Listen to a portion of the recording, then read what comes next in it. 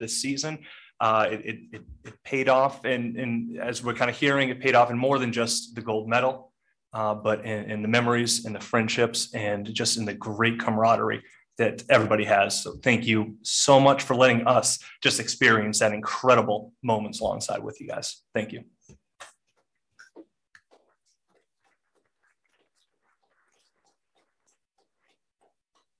Just to echo what David said, um, thank you for everything you've done. Uh, it's been an amazing run. Uh, it just shows everybody what we all can do when we come together and we can include others and, and really work together as a team.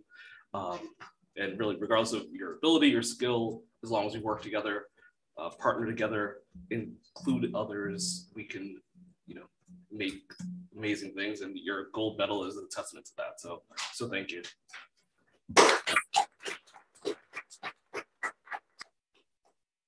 So it's like congratulations to all of you on this amazing accomplishment. Yeah, yeah, thank you. The, uh, all of you guys, your spirit, your hard work, um, yeah, your friendship, camaraderie just exemplifies everything that's just amazing about Franklin. And yeah, we're, you know, our community is forever gold medalists because of you guys. So thank you.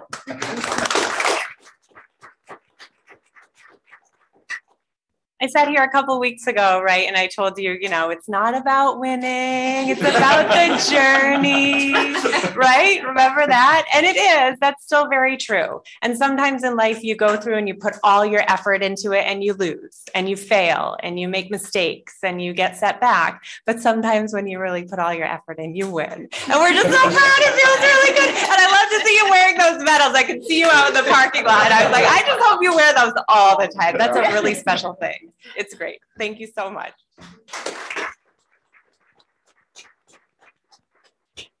Congratulations. We're very proud of you guys and this uh, an amazing achievement.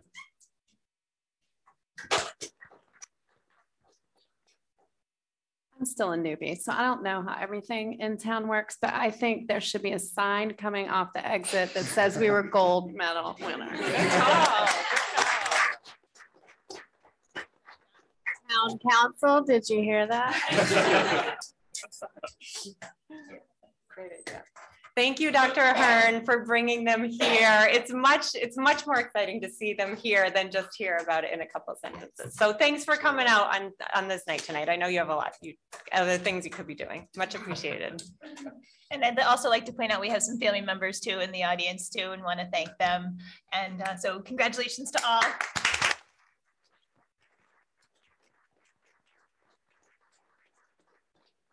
And I'll continue reluctantly with the rest of my superintendent's report. Um, in lieu of the high school students, I did put together some, uh, some updates related to the high school as well as some student events uh, across the district. Um, since our last meeting, we had uh, graduation and all of the senior week events, um, which were fantastic. It was really wonderful to see uh, senior week happen in a like back to the routine traditions that we've done in the past. And I especially want to thank the uh, volunteers who participated in the all night party uh, the night of graduation, which is a huge endeavor and it takes a lot of work on the part of our community members. Um, it was an amazing graduation and congratulations to our graduates. Um, we are in the final weeks of school, and this is just a reminder that our last day of school is a half day for students next Wednesday, the 22nd. And uh, final exams, as I noted, will begin at the high school tomorrow. Um, meanwhile, across the district, there are a, a, number of celebrations, fifth grade and eighth grade move-up ceremonies, field days, carnivals. Um, and so it is a very festive time. And again, uh, really heartwarming to see many of our traditions return um, after two years of uh, alternative celebrations that we've had uh, in years past. Um, we have several teams um, in postseason play at the high school. Uh, at 4.30, I don't have a game update, but the girls varsity lacrosse team took on Lincoln Sudbury away. Um, the boys varsity baseball team uh, is playing this evening as we speak. They are in the final four and they are playing uh, Shrewsbury tonight at Holy Cross. And uh, the boys varsity lacrosse team is also at Lincoln Sudbury tonight. They had their game begin at 6.30. Speaking of sports, fall sports registration is already open for the fall, uh, so that is underway. Um, I thought the committee might be interested in hearing that a science fair club uh, held its inaugural meeting on June 8th. And uh, also in recent news, um, the World of Difference peer leaders at the high school um, solicited interest through an application process and 150 students uh, applied and were accepted to participate in the Walk Against Hate, which occurred last week on June 9th um, as a um, the group walked together to take a stand against hate, uh, both locally and uh, in, uh, as a response to some of the most more recent news stories. Um, last week, we had a policy uh, subcommittee meeting, and um, I think uh, Mr. Callahan will speak later uh, during during um, information matters.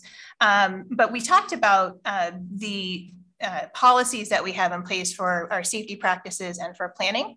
And I thought that the superintendent's report might be an opportunity to um, further elaborate on some of the planning that happens that uh, many members of the community are probably not uh, aware of.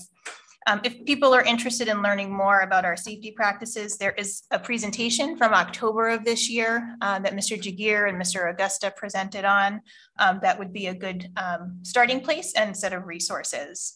Um, and then uh, we recently reissued um, our threat assessment memo and our safety response um, information, uh, which we typically do in the fall, but reissued it more recently. Um, one of the things that we talked about at the policy uh, subcommittee is um, our practice of having a comprehensive town-wide emergency management team. And this team uh, meets regularly. Um, it involves uh, town administrator and uh, Mr. Hellen's staff members, uh, the assistant superintendent and myself, uh, our school business administrator, our technology director, uh, members of the fire department, members of the police department, the building inspector, the facilities director, and I'm sure I'm forgetting other folks that participate in a comprehensive town-wide emergency management team. We're fortunate too here in Franklin uh, because of the proximity of MEMA, the Massachusetts Emergency Management uh, Agency, is right here in town. And we have uh, held meetings both in the MEMA facility and we've also held meetings at the Franklin Fire Department. We also include Verizon and National Grid representatives. Um, so we have um, plenty of information and emergency um, response information uh, from them. Uh, and uh, this is really intended to be uh, very comprehensive for all sorts of uh, emergencies that we may find ourselves responding to. In addition, we have district and school-based emergency management planning, uh, school administrators, our resource officers, fire department officials, counseling staff, and nurses as needed uh, focus on district and school-based emergency uh, planning.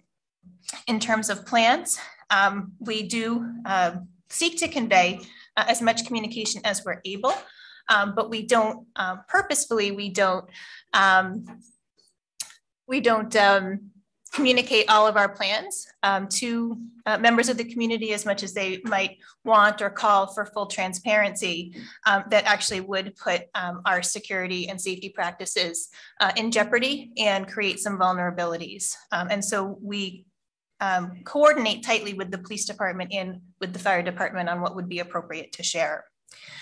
We have a comprehensive emergency response manual, um, which covers, uh, again, all sorts of things that you might imagine, including fire emergencies, gas leaks, evacuations, uh, lockdowns, administrative lockdowns, classroom containments, which we use in different, um, different settings, bomb threats and searches, suspicious packages, disruptive behaviors, medical emergencies, bloodborne pathogens, uh, situations that might involve a drug overdose, fights, incidents on a bus or van, including accidents, uh, suicide threat or attempts, uh, severe weather, and would serve as a basis for a nuclear threat.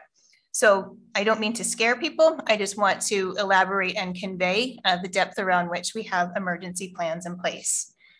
Um, the district also has a school safety implementation plan, which was a three-year plan that augments the emergency response plan uh, around practices and protocols, safety training, uh, facilities assessments and upgrades, and communication systems, uh, particularly as it relates to lockdowns and classroom containments. Uh, lastly, um, we are required um, and we, we, submit to the Department of Education annual medical emergency response plans, which are intentionally school-based plans uh, that are intended to reduce the incidence of life-threatening emergencies and to promote, efficient response, responses to such emergencies. Um, so again, I'm not uh, looking to um, alarm anyone. I just want to uh, convey the extent to which we have comprehensive plans in place and we regularly meet and update uh, those plans uh, across a variety of emergency management teams. And again, Mr. Callahan will talk a little bit more about the conversation we had at the policy subcommittee related to your three policies around uh, safety couple of uh, weeks ago, I gave you an update on the tiered focus monitoring review um, for the report we received from the uh, related to our special education department. Um, we have received the report related to English language development. Um, as I had told you at that time, there's a team from the department that visits every six years to review the district for compliance across several programs. Um, the special education report had uh, uh, has since been published and had no findings. Um, related to English language, um, we have nine standards that were rated as implemented. So that would be no finding or the finding of that they're implemented. Um, we did have three standards rated as partially implemented and our ELD coordinator has outlined action steps that we are taking um, to get these to be in the implemented category. Uh, the good news is that we knew about these and these steps have been underway. Uh, the first, um, we were cited for not enough uh, English language development staff, and uh, that is being rectified in the FY23 budget with the additional positions that you have approved to support the increased number of English learners in the district. Um, around um, parent involvement, um, DESE cited the district as having strong communication methods with regroup and our telephonic interpretation service. Um, at the classroom and school level, um, Google Translate has been a main go-to, and the Department of Education is asking us to review and apply alternative translation solutions. There are some more, um, uh, I hate this word, but robust uh, applications that have since uh, been developed. Uh, and so we are exploring those through the technology department. And then lastly, um, licensure requirements. Um, is something uh, for us to be paying attention to. Most of our educators hold SEI endorsement, um, and uh, some do not. And so we will be monitoring uh, SEI endorsement more closely with our placement decisions and making sure um, that we're supporting our educators and earning these credentials. Um, so those are the three areas um, that we are working towards. Um, recently, uh, CIC, which is the testing, um, the testing uh, company uh, that had been um, providing uh, tests in school and antigen testing for home use um, issued a report and there's an infographic that we can post uh, online uh, with Franklin specific information. Um, and I thought through our testing program, you might be interested that they quantified uh, that uh, 5,751 uh, total samples were tested across 10 participating schools. 4,436 school days were saved uh, through the testing program uh, for students who otherwise would have had to uh, quarantine, and that over 50,000 antigen tests were distributed um, to students and staff uh, through the program. So um, just a few, uh, few interesting tidbits there for you. Um, Mr. Giguere and I attended, there's a lot in here. There's a lot going on. It's only been three weeks, but there's a lot. Um, Mr. Giguere and I attended the uh, spring meeting of the Massachusetts Association of School Superintendents. Uh, the focus was on race, equity, diversity, and inclusion work of our professional organization. They are conducting this work internally as an organization while also developing and providing resources and support to superintendents and districts. The day started with the keynote speaker from Deputy Commissioner of the Department of Education, Regina Robinson, uh, Regina shared her story uh, as a woman of color, um, while also um, talking about being a parent of a child with disabilities. Um, so she talked about having an ability to visualize educational attainment through many lenses. She presented with energy, enthusiasm, and hope for the future of public education. Following her presentation, we had the opportunity uh, for a facilitated table talk um, and uh, relaying how the Department of Education can help support our work in this area. Uh, following a break, um, we heard from uh, the Assistant Superintendent of Old, Old Rochester Regional School District, who shared insights into her story and the consequences of teaching and learning an incomplete history. Kamal Basin, the Senior Associate Commissioner of DESE, um, shared the existing DESE requirements related to curriculum, focusing on establishing curriculum standards that support accurate information. Commissioner Riley joined the morning program and shared brief remarks on a variety of topics, including COVID, educator pipeline initiatives, and curriculum. Um, the uh, president of our association closed out the main session by presenting the 2022 Distinguished Service Award to Jeff Perrotti. Um, this award is presented annually to a non-member of MASS in recognition of outstanding service to and support for public education and the children of Massachusetts. Jeff is the founding director of the Massachusetts Department of Elementary, Elementary and Secondary Education Safe Schools Program for LGBTQ youth. Uh, consistently, um, district and building leaders call on Jeff to provide support and guidance in supporting students. And lunch uh, followed with awards and recognitions. And I believe uh, the DESE Safe Schools has done some work in Franklin uh, in past years uh, to provide professional development and support. Um, as a reminder, um, we do not have school on Monday, June 20th. Um, it is the recognition of Juneteenth. Last year, Juneteenth became both a state and federal holiday, recognizing the effective end of slavery in the United States when federal troops arrived in Galveston, Texas on June 19, 1865, uh, two and a half years after the Emancipation Proclamation. When the holiday falls on a Sunday, as it does this year, the day is recognized on the following Monday. So we are out of school on Monday, the 20th. And that is the conclusion of my report. Wow, thank you. Thank you, Dr. Ahern. Okay, so any follow-up questions or comments for Dr. Ahern? We'll start with Callahan. Thank you. Um,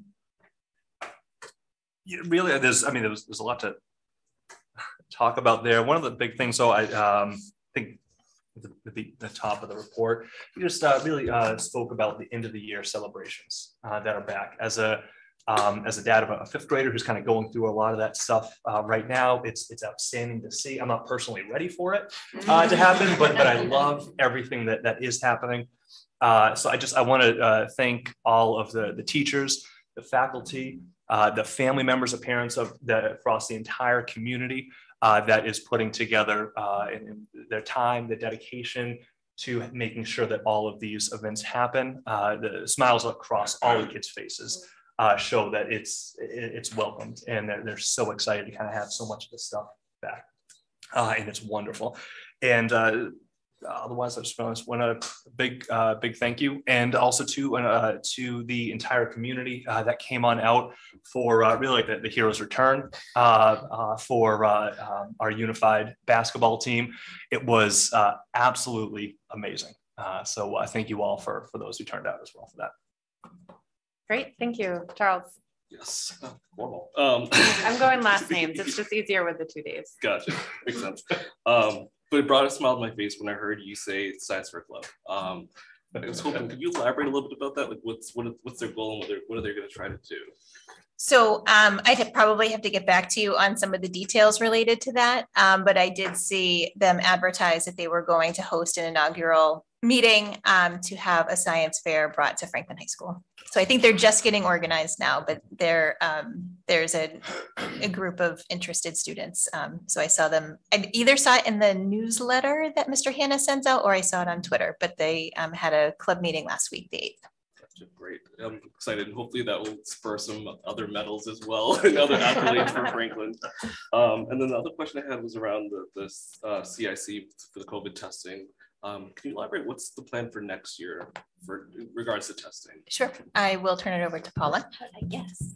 Um, so the state is no longer funding the testing kits um, next year. And um, given the amount of, we, are right now, we're just using the test kits um, that we have in our health offices for symptomatic testing, but that number is quite low um, in comparison to what it was in the past. So we, we will no longer be providing symptomatic testing and we will no longer be provide, providing at-home tests. So basically the testing program is finished. So. Understood. Thank you. Mm -hmm.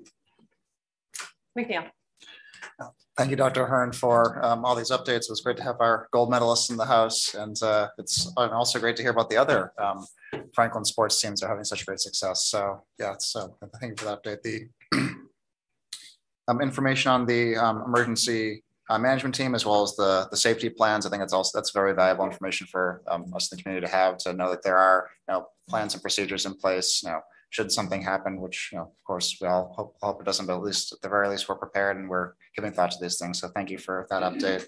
And also um, giving us the update that with the tiered focus monitoring, that the um, that the three standards raised as partially implemented are being addressed. So it's yeah, good to know that we're on top of these things and getting ready for next year. So I appreciate that. Thank you. Great. Whitmore. Um, uh, yeah, th- yeah, thank you very much for that, that detailed report. And I'm- I'm really, uh, yeah, proud of our, uh, you know, gold medal winners. And um, I'm also excited about the possibility of the science fair starting. I personally really enjoyed, uh, you know, participating in the science fair when I when I was a high school student years ago. Thank you. Great. Bernstein. I'd like to echo the comments about the end of the year celebrations and remind people watching that it doesn't happen without parent volunteers. I see um, emails come out, they're so um, friendly, uh, but I think the administrators are stressed about um, some of the events need volunteers and they can't happen without the volunteers. And if you've ever had 300 middle schoolers in a certain place. Um, it may be at the middle school level that your middle schooler is like, I don't want you there. Um, I was told where I was allowed to be at a certain place, um, but we desperately need people to help out at your school. So make sure you sign up when you get those um, really calm, but behind the scenes, probably a little stressed emails. Thanks. That's a really good point. Thank you for that. Um, I don't have any further questions. Just want to thank you for always providing thorough, informative in, uh, superintendent reports. We always learn a lot and really feel like we have the fingers on the pulse of the of the district. So thank you, Dr. Ahern. Thank you. Can I, um, as we move on to the agenda? Yes. Um, I'm just, would the committee uh, possibly entertain going slightly out of order for um, presentation B before presentation A? Yes, I was thinking the same standpoint? Okay. thing. Yes. Yes. So um, for the community, presentation B is the Norfolk County Sheriff's Office Comfort Dog, and they've been making adorable dog noises in the corner. And so we feel like we just can't move on to the amazing civics projects until we get all the all the adorable dog stuff out of the way. Yeah, so So I'd like on to welcome, um, I'm sorry, I don't know your name, but you're representing Norfolk County Sheriff's So Office. my name is Officer Mike Monahan. Thank you all for having me. This is K-9 Eddie. Eddie is nine months old. Um, and we have been everywhere in the county, basically, from Norfolk. Uh, I work for the Sheriff's Department, so we cover all the twenty-eight, uh, towns in Norfolk County. Uh, I met this fine officer in the, in, who has a comfort dog, who does exactly what I do, and we were just speaking over there very quietly about how we're absolutely overwhelmed, and it's the best thing that you could do. So a little history on me, I was on the narcotic unit with a narcotic canine for nine years. Uh, I retired my narcotic canine and the sheriff, uh, Pat McDermott allowed me to get this comfort dog. So I was lucky enough to be able to get it. I went to a place called American Canine Services down in Middleborough. We rescued him and his whole litter of brothers and sisters from Florida. Uh, we put him through training, uh, a little under three months. I went three weeks. I finally got to meet him. We got all our state certifications. And here we are in front of you guys. Um, we do a lot in veterans homes. We do a lot in schools. We do a lot in Milton Hospital, which is in my, which is over in uh, Milton, and we go over to South Shore Hospital over in, uh, in Weymouth. We haven't get in there yet. It's a lot of paperwork to get in with COVID and everything. Um, it helped me out because my wife's a nurse over at Milton for 20 years, so she kind of stuck me in a little bit and the process going a little bit. But um, like I said, the most rewarding things I think I do is I just got finished doing all the kindergartens in Norfolk County. I was here in Franklin. Um, we sent out an email before we got Eddie to name them. So the winning names were Edgar and Buddy, so we kind of combined the both of them, and we came up with Eddie. So we visited all the kindergartens with the winning names, which was six of them total. There was sixteen hundred names that were emailed over to us from all various kindergarten teachers all throughout Norfolk County. So, like I said, I've been doing this for a little under a month now, and it's seven days a week, ten hours a day. Everybody wants to meet Eddie. And it's a very rewarding job. There's nothing better. There's nothing better. I get to come up and I get to talk to you guys and I get to go to the schools. Uh, like I said, we do a lot with the veterans. Uh, we do a lot with the schools, the veterans, and the hospitals. Like I said, we just recently got into the hospitals. So it's been very, very busy. So I could take any questions. Uh, you're gonna see a lot of me. Like I said, I'm just getting rolling. Uh, I'm gonna get together with this officer over here, and between the two of us, we're gonna help each other out, cover each other, and try to do as much as we can in every town. Um, but we're here. Like I said, my contact information is online, and if anybody would like a business card, I can leave it. If you ever think that you need, if there's ever anything going on in the town, um, we're more than welcome to come over. The sheriff's allowed me to be able to come out and be out and about. Just kind of, he says, just don't answer to me, answer to the public and go out and do your thing. So uh, he unfortunately is in Dedham and wasn't able to make it. He just called me. He got tied up with a parade in Dedham that's still going on. So he asked me just to kind of come up and say a few words. So is there any questions that you could have for me or? So many questions. Um, we'll, we'll, we'll maintain order and, um, Dave Callahan? No, just uh, thank you so much for coming down. Hands down, one of the better meetings that we've had uh, this I uh, yeah. entire term. Uh, thank you very much for uh, coming on down. I really appreciate it. Also, go thank you so much as well.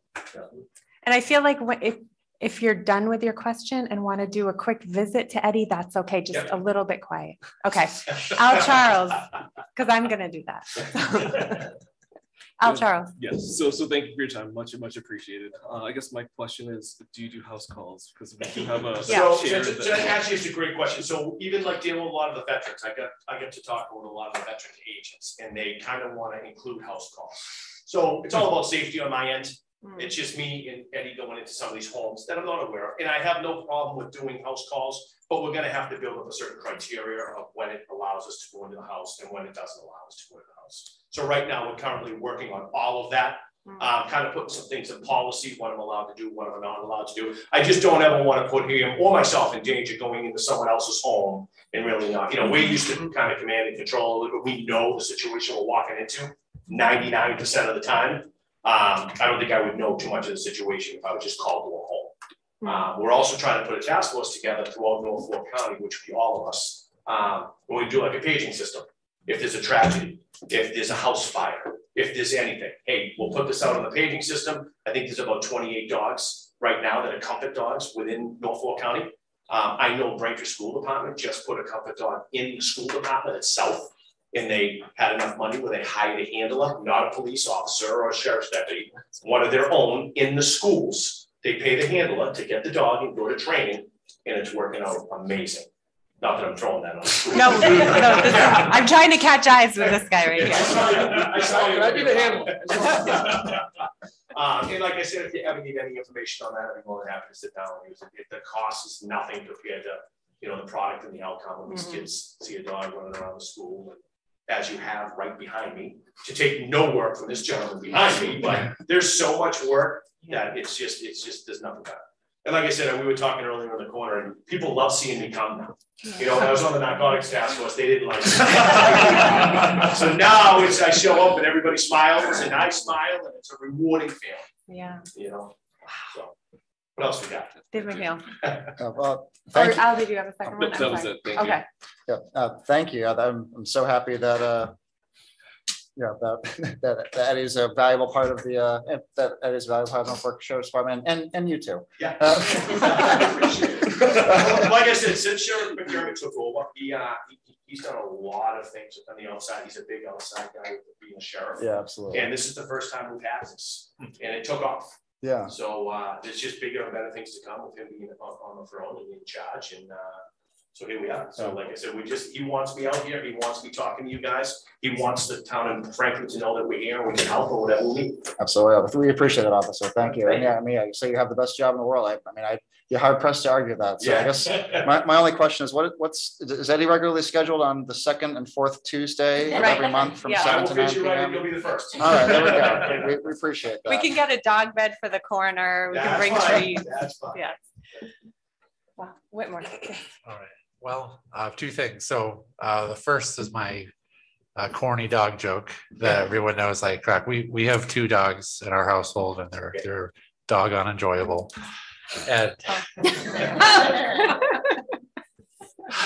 Uh, the, the other thing is, um, so we're having a, a town Franklin Pride event. I, I could, I'll contact you about, it. I'll take one one of your cards, but on the twenty-sixth Sunday at the town common. uh, We're, we're doing a thing and, Mhm. yeah, if you want to have, uh, come by with, uh, the dog, that'd be, that'd be fantastic. No problem.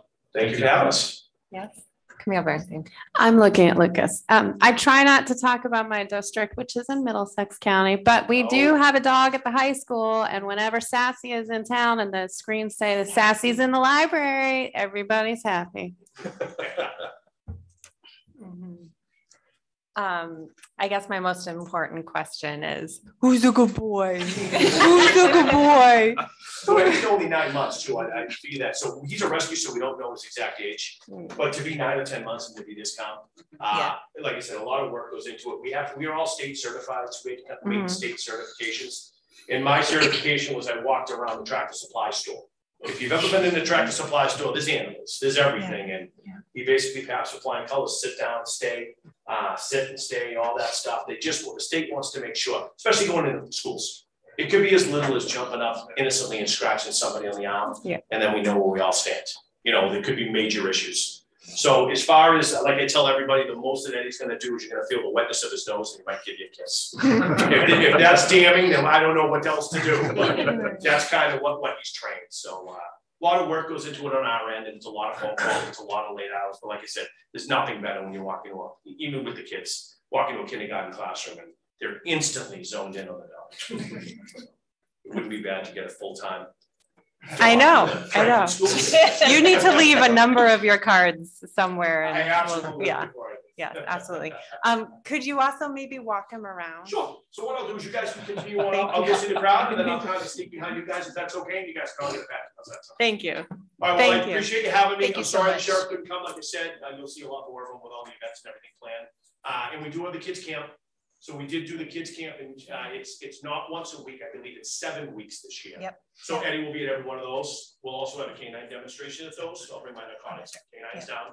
And they'll do a demonstration for the kids and how the narcotics dogs work. And then Eddie will peep, uh, you know, we'll come down and we'll see everybody then too. So you'll see a lot of us in the next couple of weeks. So how do, just for the community, how do they find out about that camp? So it's online. You go Okay. to the Norfolk County Sheriff's Office.org and you go, you go onto summer camps and it'll say there's, uh, there's seven weeks dedicated to Franklin. So Braintree does it every single week. That's where it started. Mhm. And then we just built, well, not built the course, but we created a, a similar course that we have in Braintree, brought it down here. And last year was the kickoff year. We did it for one week.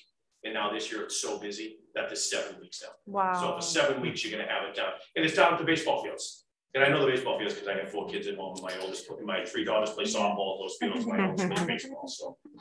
Um, yeah, so it's down there and it's Monday to Friday, and it's great for the parents, I'm telling you, it, it, it's a lot of. You know, I think you have to be a certain age, ten or eleven years old, but it's a lot of skill building, it's learning how to be friends with everybody. Mhm. Uh, it's, it's good, it's good stuff, real good stuff, so. Look it up online, it's, you'll see me there. And if you don't see me there, you find out the date it's there, and you find out when I'm there, stop by and say hello. So, Thank you. I Thank think you you're, so and I think it's hosted at Parmenter, maybe the baseball field, there's a baseball field behind Parmenter that gets used, but it's um hosted at Parmenter. Um, and we're Yep. really like happy about that partnership and excited to be hosting again Yeah. um for an Great. expanded, for expanded program. Wow, that's great. Thank you so much. Thank you for having me, nice to meet everybody. Thank you for coming. Um, and just to add uh, some detail, two of those six kindergarten classes, just for the community who may have missed the announcement a few months ago or weeks ago, um, were here in Franklin. So it was Mrs. Ford at Parmenter and Mrs. Rogers at Jefferson. Great, thank you. So moving on to the eighth grade civics projects highlights. Great. So this is um, a long-awaited uh, moment as the school committee has been asking to hear more about the civics projects uh, that is happening. Um, As you may remember, the state uh, issued new social studies frameworks a few years ago, I want to say in 2018. Um, Then Assistant Superintendent for Teaching and Learning Joyce Edwards, along with a curriculum committee, um, adjusted the Franklin curriculum, especially the scope and sequence uh, related to how we were teaching social studies um, to then insert uh, in eighth grade um, a very civics focused uh, course. And our teachers have done uh, tremendous work adjusting their curriculum. And this is um, the second year of the civics projects.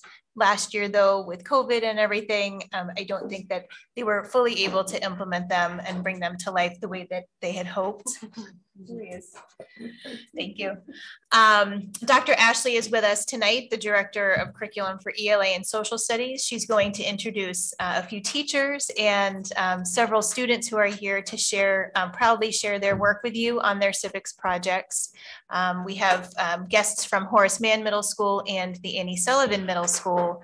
Uh, Remington Middle School, I think, had one of those end of year celebrations um, today, uh, which was a conflict, um, but there is work happening at Remington and Dr. Ashley can share a little bit about a few projects from, from there.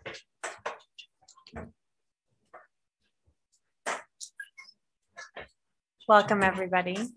I know there's a little, oh, we're all, all ready to go. There we go. Super. Great. So I had a little bit, um, Dr. Ahern gave us a little bit of background, so I'm going to skip over some of this so we can get right to the kids. but um, basically, um, in 2018, Governor Baker signed into law the act to promote and enhance civic engagement. And out of that came the civics project. So civics projects are required in Massachusetts for eighth graders, all eighth graders in public school and in high school. And in Franklin, it's our 11th graders. But tonight we're, um, we're really happy to have our eighth graders here to tell a little bit about their projects. So the six stages, um, first they examine um, self and civic identity, um, they identify an issue, they research, they investigate, they develop an action plan, they take action, and then they reflect and they showcase. So this is part of the showcase, right? All right.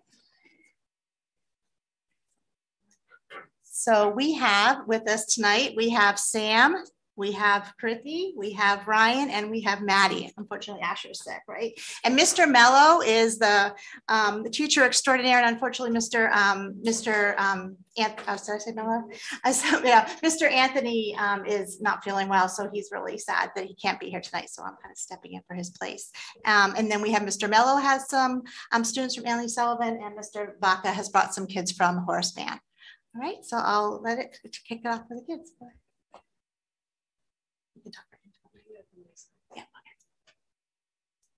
Domestic violence and women's rights have had an immense impact on our state and community. Recently, we have witnessed sickening examples of domestic violence in our area, which have piqued our determination to raise awareness and support victims of domestic abuse and sexual assault. As a community, it is crucial to offer help and reassurance to those struggling in vulnerable situations. No person should have to endure any acts of violence or sexism. We feel that as the next generation of our community, we are obligated to ensure that women all across our state and town have access to resources and do our best to prevent domestic abuse.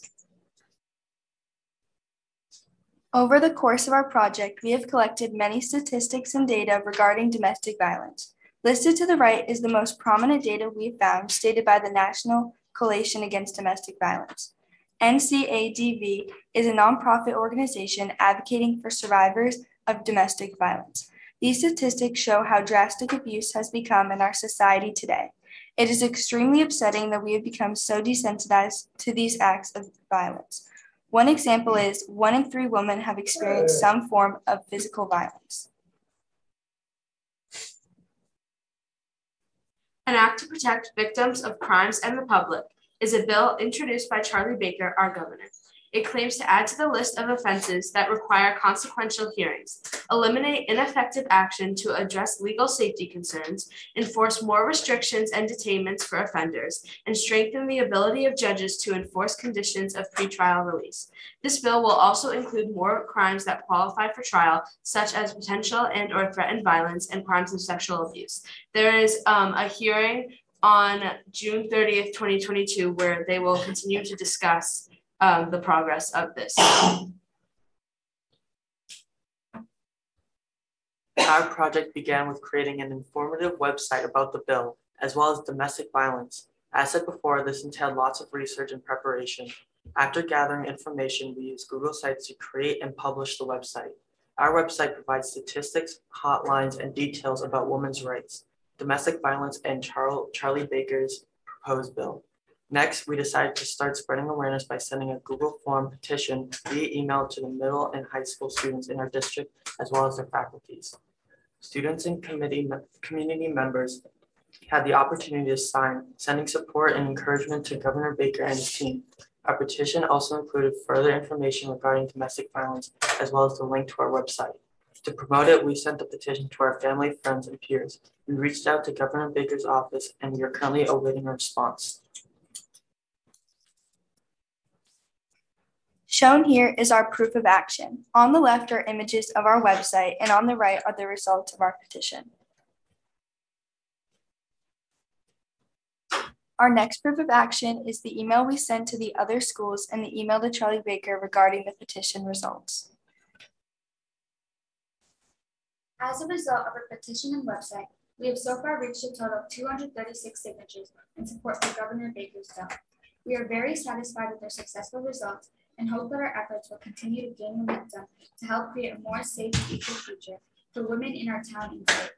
Our project also helped garner more support and recognition for Charlie Baker's bill, an act to protect victims of crimes in the public. Thank you for your time, as well as the opportunity to express our concerns and educate about domestic violence. We are extremely passionate about this prominent issue. We hope that the results of our project will encourage you to further support women across Massachusetts and demonstrate the importance of community, benevolence, and compassion.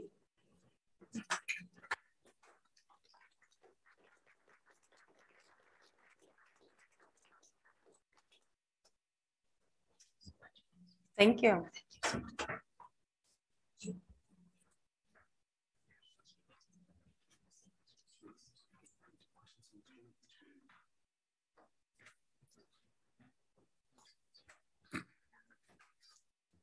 Um, I'm going to pause for a moment because um, I'm organizing things up here. I think we're going to do questions in between.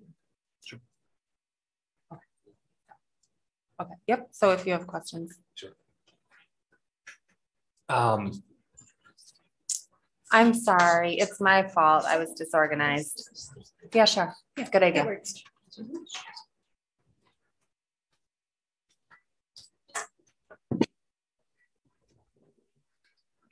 Perfect. We're flexible.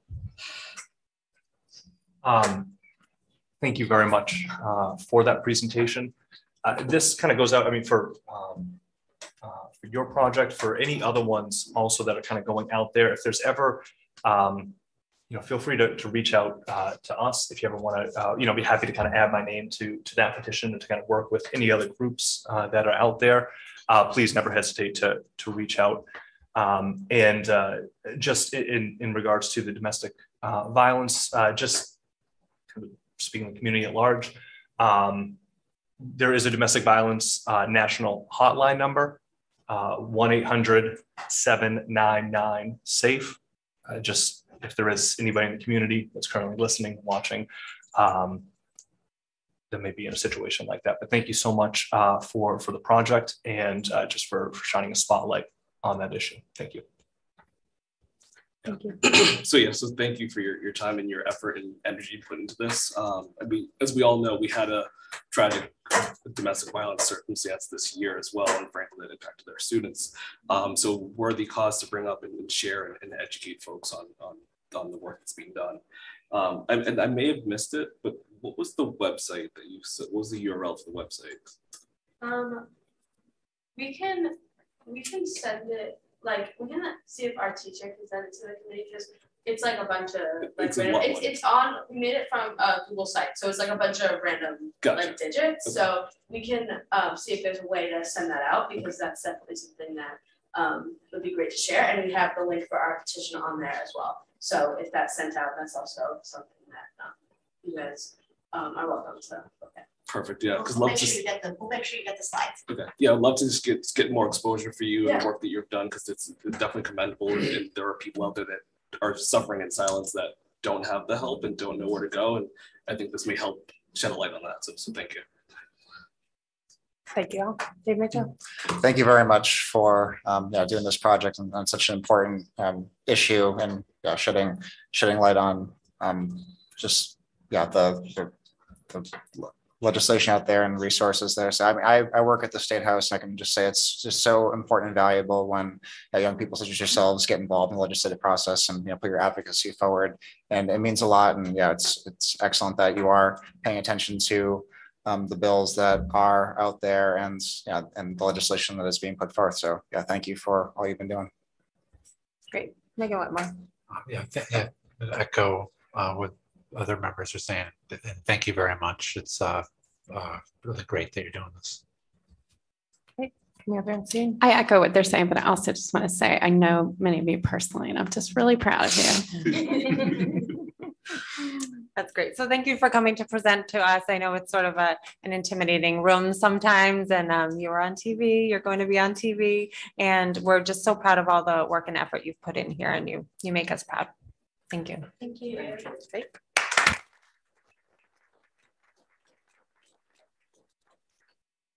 Without further ado. Uh, hello there, my name is Shane Davey. This is my friend and partner Jack Aldred, We'll be covering our Team Angelo um, civic engagement projects and the process that we went through while working on these throughout the year. We started off during our beginning of the year team time classes. We did some issue exploration. We went over like current events going on around the world, and everyone grouped together, discussed things, and we made a big spreadsheet. And then everyone kind of narrowed down issues that they were interested, like on researching. And once you found that, you began your research. and we would do our research papers in team time and English. And we would just research our issues to make a better argument to our representative, try to convince them that they should make make an action on our on our uh, solution to the problem. But to be able to do this, we had to make sure we were able to understand how like laws and bills and just the legal process worked in general. So during social studies and team time classes, we took the time to learn how a bill would become the law and the roles of committees and their importance. And from that, we, we went to look for who represents us. And what what we were doing there is we were finding who would be a good target to send our letter to once we got our issue. And we would be looking for things like who's our representatives and who has past experience with these bills and who will actually take action based on the history of the bills. And once we found someone we felt would be a good advocate and person to write to, we began to draft our letters during team time and we made sure they were good, formal, well-written business letters. We had to establish a strong connection or just some sort of connection with the person. And we had to give them our statistics from our research papers. And once we sent that, we would hope for a follow-up and we'd also plan for follow-up. And our follow-up was a slideshow showcase where all, all the students would add a slide and they would have their their issue that they're focusing on and why. They would have their solution and how how it would work, how it would fix the issue. They would have why they're targeting that representative, and they would make sure to have their outcome, which would be a letter or email response from them. We're going to share a few examples with you now. We have mine. I wrote to Thomas Mercer, chairman of Franklin. I so I researched and I studied like the suffrage and the issues that pollinators and like in like insects in our ecosystem are going through, and I found that they're declining at like really strong, steady rates. And most people don't really care or even bother to know about this, but like if this keeps on going and we lose our pollinators, there'll be very major economic and ecological like consequences for something like this. So I dug around and looked for a solution and I found the ordinance law of Somerville, which is a pretty nearby town. It's over by greater Boston area as well. And it kind of states that a percentage of native plants have to be planted in each public space to kind of combat invasive species and balance out the ecosystem level things. And I felt if Somerville is going to have a law like that, why doesn't Franklin? So I figured why not speak to Tom and see if he'll if he's willing to do anything about it, if he's got anything working on in motion. And he was, he responded very quickly and he was he told me some some stuff about the green plan and changing to electrical electric alternatives like the fleet is being changed to electrical instead of gas. And he also said he was going to try to push forward the suggested ordinance law. And I'd say it was a very positive and successful outcome for that. This is the letter I got from Tom. It's a pretty, it's really nice looking formal letter. Um, And in my showcase, I was focusing on gun violence in the United States. And as a very, a really recent example is the shooting in Uvalde, Texas at the Robb Elementary School, killing 19 students and two teachers. And there's also been I also learned that there's three million US citizens who are affected by gun violence every year, like PTSD, trauma, and even the school shootings, some some people are dying. And my solution to this was I was going to introduce a a bill, No Backdoor Gun Control Act of 2022, which would ban assault rifles and machine guns from the definition of firearms, which would prevent school shootings and it would like lower the rate of gun violence. And I chose to send it to Jake Auchincloss in the US House of Representatives because he's my representative and he's gonna know I'm gonna vote for him in the future. But he also, he was a former Marine and he has practice with guns. He knows what they can do. And he also has uh, passed bills and websites he's been working on for this issue. So I knew that he was going to be a great pick. And he actually did respond. He sent a letter back. And in the letter, he talked about how the four bills that he's already been advocating for. And he talked about one bill that he's advocating for right now. And he talked about his his Marine experience. And uh, on the last slide of the letter, he talked about um, how 25,000 people could be saved every year if they had the Massachusetts gun laws, which I thought was just outstanding. That's that's what mine was. And we, uh, we included a few slides from some of the other students. My name is Jonathan Mello. I'm um, eighth grade teacher at Annie Sullivan Middle School.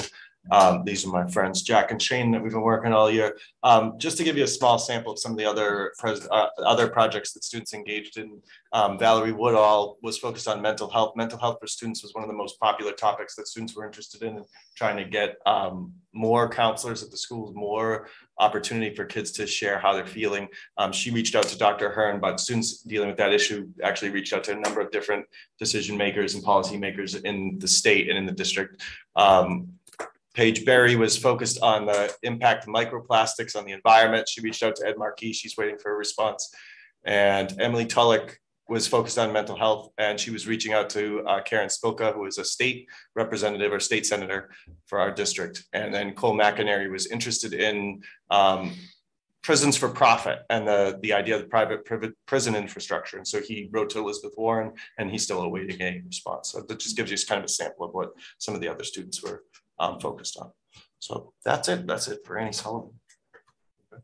Do you have any questions at all or? That's so great. Thank you so much. Yes, Dave Callahan, want to go down the line?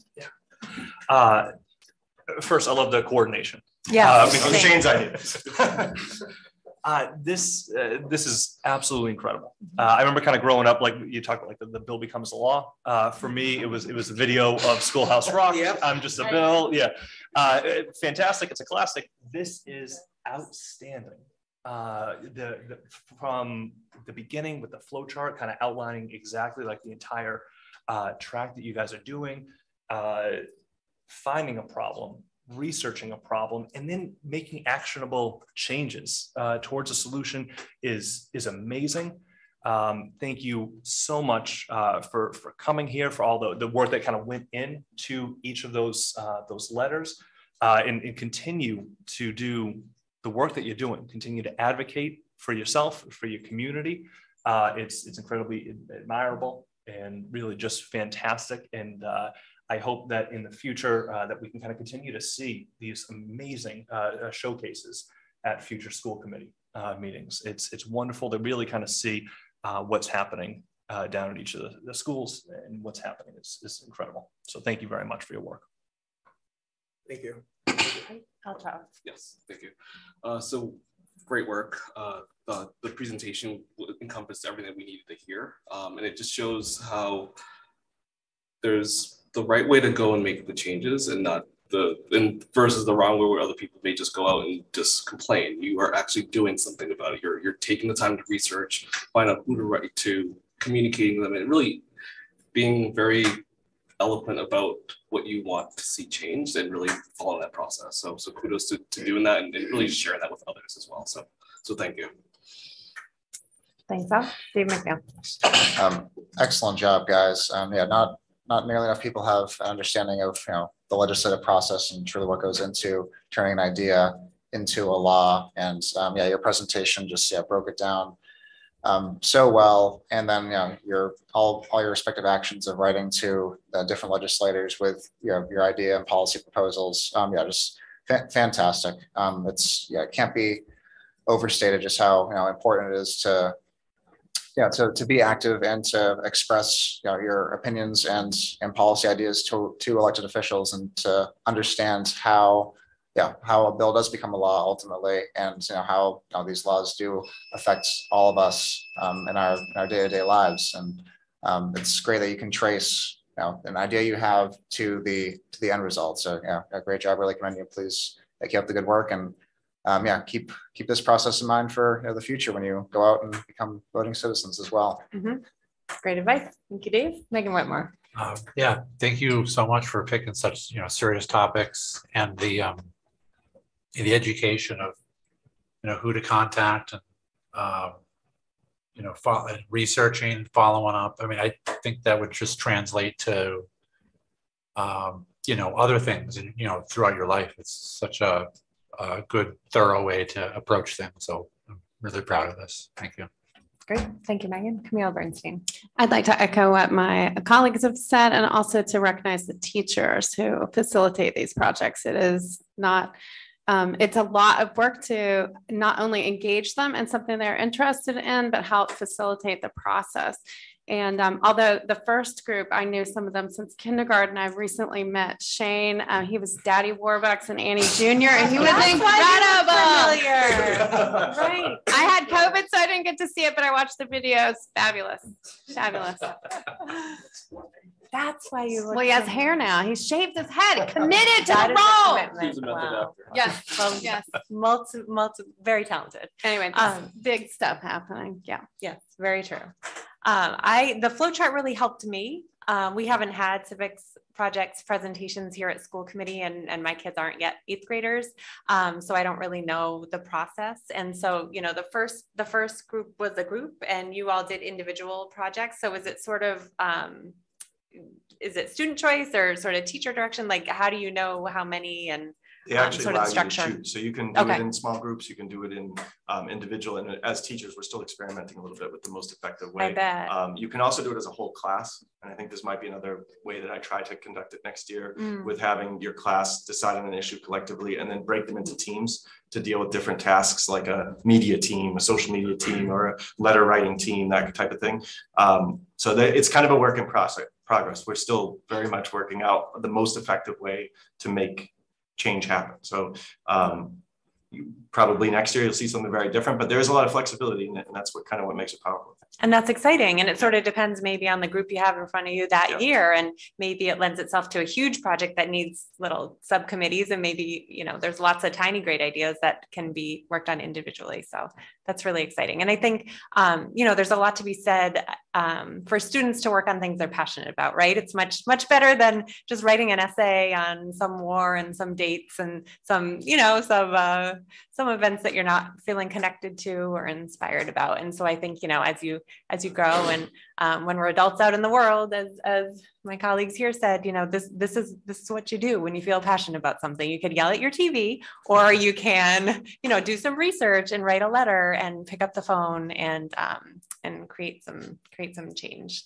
So thank you so much. We're proud of you. Thank you.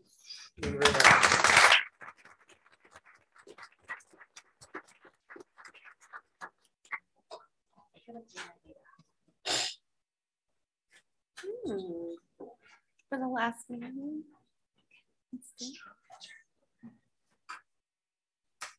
We don't have any slides. That's okay. We like variety, creativity. I've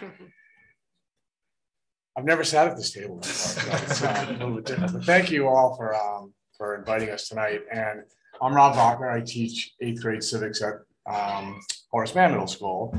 And before my friends introduce themselves, I I just want to share a couple of things about the process as well. Um, I agree with you that, that when you tap into a child's passion, you get a huge return. And, and that's what we've, all three middle schools have tried to do with the civics project.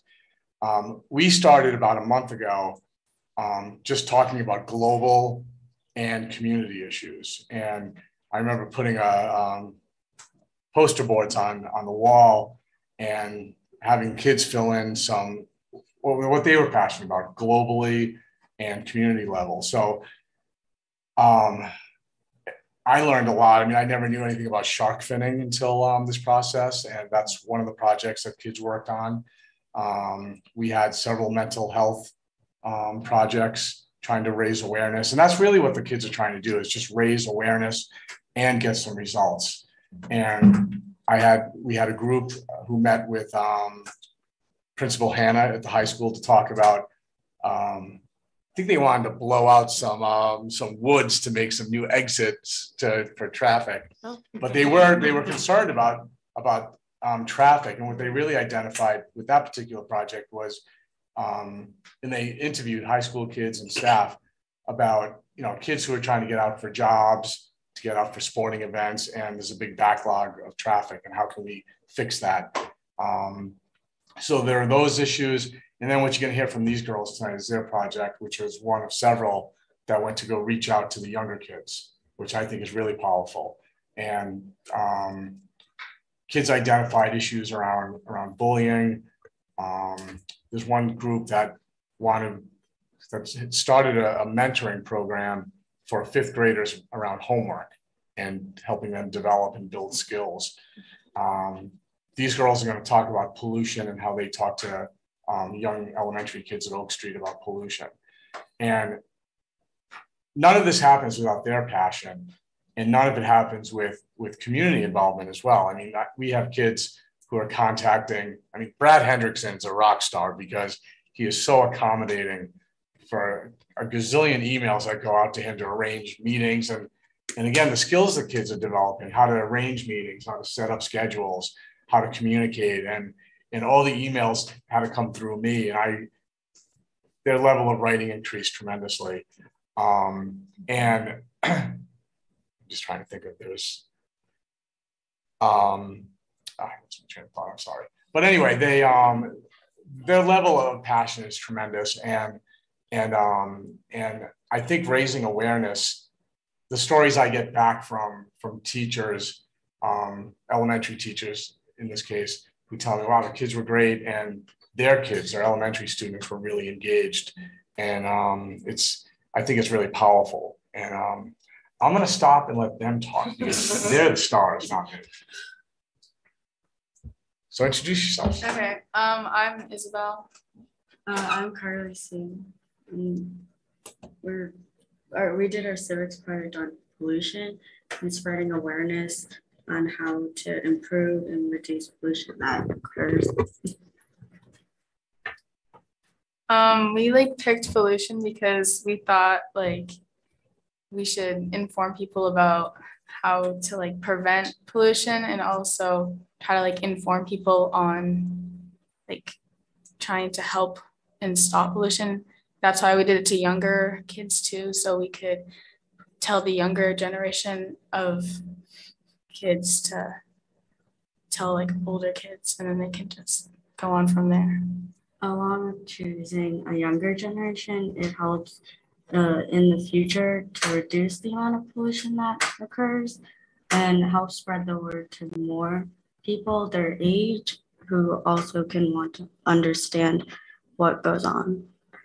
Um, we chose to reach out to first graders and talk to them on how to reduce pollution, how to help clean up pollution that occurs in our world, um, mainly to show like how a younger audience can one understand it in a more simpler version, but also learn how to spread awareness on it and how you can help improve our environment and our ecosystem um, without doing too much work that might stress you out but enough work to make an improvement all around. Um, we included an activity to get the kids involved, to be more hands on, and help them understand more the meaning of what pollution is and how we can help reduce it in our ecosystem. Uh, so we had a paper and we split in half. One half is a side for like ocean, the ocean, and what it looks like when it's polluted, and then the other side when it's not polluted. And we had them like show their comparison of what they believe and what they learned from our presentation on what um, pollution looks like versus what it'll look like once they make improvements and what they want it to look like in the future. And one of the keys to these projects too, I, I believe, is sustainability. I mean, how do you how do you keep these things going year after year? So when they introduce, and I think of, of, of helping our younger kids, when when our students go out into the elementary schools, um, you know, how can you keep that rolling and just pass that that torch, so to speak? Um, and you know, on a funny side note, um, the kids are amazing. I, you know, the, the perseverance that, that you see in a classroom is unbelievable. I mean, they they will stop at nothing to get information. They'll stop at nothing to get contacts, and when they don't, that's when they turn to the adult in the room. So, um, I think the funniest thing that happened during this process for me was one day in particular. Um, in one class period alone, I called the Franklin Police Department, the Department of Public Works, and a nonprofit in Oakland, California, and um, just to get contact information and and um and I was really influenced by the kids because I'm like, well, you know, they have this kind of like this carefree, let's do it attitude. So we'll place the phone calls and see what we get back. Um, we do have a poster they want to show you. It's a well loved and well traveled poster, so it's a little bit wrinkled. Um, and it's the poster that Carly, um, the activity that they that they did with the kids, and um, and I think it's going to go back to Oak Street because the kids are really proud of it and they want to hang it up, which again, we'll share with the rest of that school.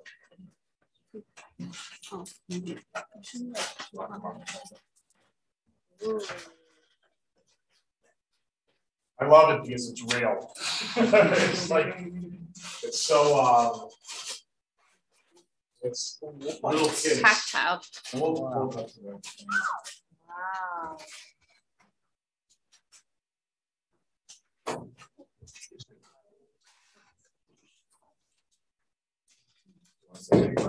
Um, so like, as you can see, like, we have the before and after of what the kids do our position. So like this, just for just an example, we have like, right? Colors. Yeah, we have the air pollution and then the ocean pollution is first with like trash and like a mask in the ocean. And then they did like that happy version color on that mm-hmm. side. So they all have their different ideas of what pollution looks like in the ocean, but they all get like the general idea. Lots of sharks. Like the sharks. Like stay with And I think for me, for me as the teacher, I, I get really energized when they come back after their presentation or when they get a letter back. from some of the other groups from the other middle school, they're getting responses back from these really important people. And their, their, their sense of pride that they did something, you know, they got something accomplished. And it's just real energizing for me and it's really rewarding. And can't imagine what it's like for them. Uh, and you know, these these kids coming back like, oh my God, the elementary kids loved us. Like, of course they do. They look up to you and, and you're doing something fun and cool and something you're tapping into their passion. So it's a ripple effect, which I think is really powerful. So, and again, I, I, you know, I, you know, you said it a few times tonight, Dave, about the community and community involvement. And, you know, this is beyond a classroom activity. I mean, this is, this is a community activity. Um, we have teachers involved, administrators, um, people who are quite surprised when they get phone calls and emails from the community that eighth graders want to contact They get excited. So it, it's, it's, it's, it's a pretty cool activity. And they do a ton of work. The kids do a ton of work. I mean, you saw the research that the other groups have done.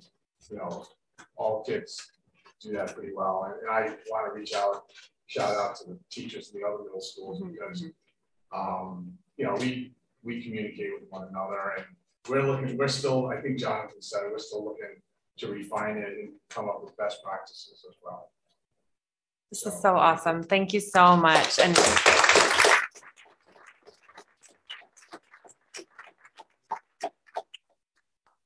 questions or comments? Dave Callahan? You guys can to- stay up there for a minute. You can stay up there for a minute.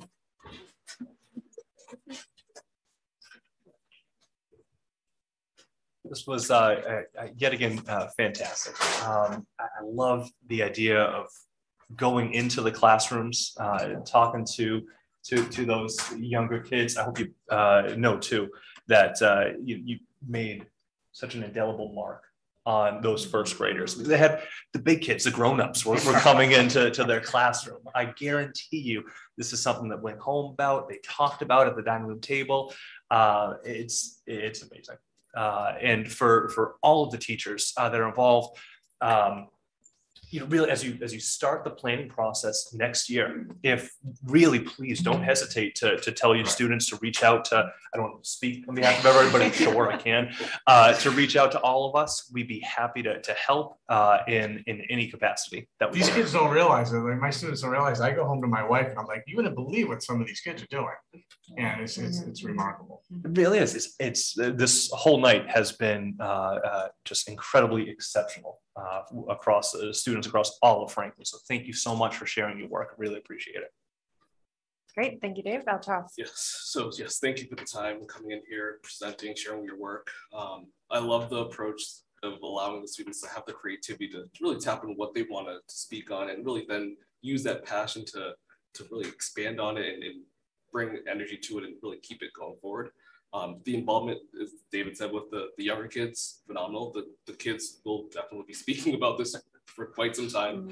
And you should, as students should know that your voice, the younger kids, go further than probably us adults. So, so you're, you're, you have so much more power. And thank you for, for sharing that and really trying to get them to really focus on how they can reduce the pollution and really how to improve the world. So, so thank you. Dave McNeil. Uh, wonderful job. Thank you so much for presenting this to us, but also for uh, the work you did on this project. I mean, of course, such an important issue, you know, the, the environmental impacts of pollution. And so, I mean, that affects all of us now, but of course, you know, generations to come. And I mean, that, you, know, you had it exactly right when you're going toward, you know, going and presenting uh, this project and your information to, you know, the, the youngest students to really, um, you know, hammer hammer this home to them and you know get them to learn from a young age just the um, the impact that um, that pollution is having both you know, you know globally and locally. And, and you mentioned that um, of course before how you know these are issues that are you know both you know global and local. And um, yeah well it reminds me of a, a phrase that you know someone that didn't yeah came not too far from here did pretty well for himself um, the the phrase all politics is local. And uh, that's um, that's exactly true with this. And these are issues that you know might think in you know big in big terms, but it affects us right here in Franklin as well. So thank you for, um, yeah, for uh, this project. Great. Megan Whitmore. Uh, yeah, another fantastic project. And I, uh, I saw you when I was entering, holding that weathered poster, and I thought, I wonder what that's about. But I was terrified that I was gonna forget it in the class. I told them I, I had notes at home, I had notes at my desk at school. And then I finally today, I just put it in my car. Right, right. But I know it's a really great project. We only have one Earth, right? We have to take care of it. And uh, yeah, thank, thank you very much. Great. Camille Bernstein. I don't have anything that my colleagues haven't already said. Thank you so much for coming tonight. I'm so glad you didn't forget the poster because really, it's like the visual Yeah. speaks a thousand words. It's really just so exciting and all the little, little first grader drawings and the happy sharks and um, it's, it's just awesome. And the ripples, I think Robbie hit it on the head there. It's the ripples there. So there's a teacher that inspires eighth graders that inspire first graders and it just, you Well, know, They gets, inspire me back, they do. So. I bet, I bet. Do you hear that, guys? That's a big compliment to you. Awesome. Well, thank you for coming tonight.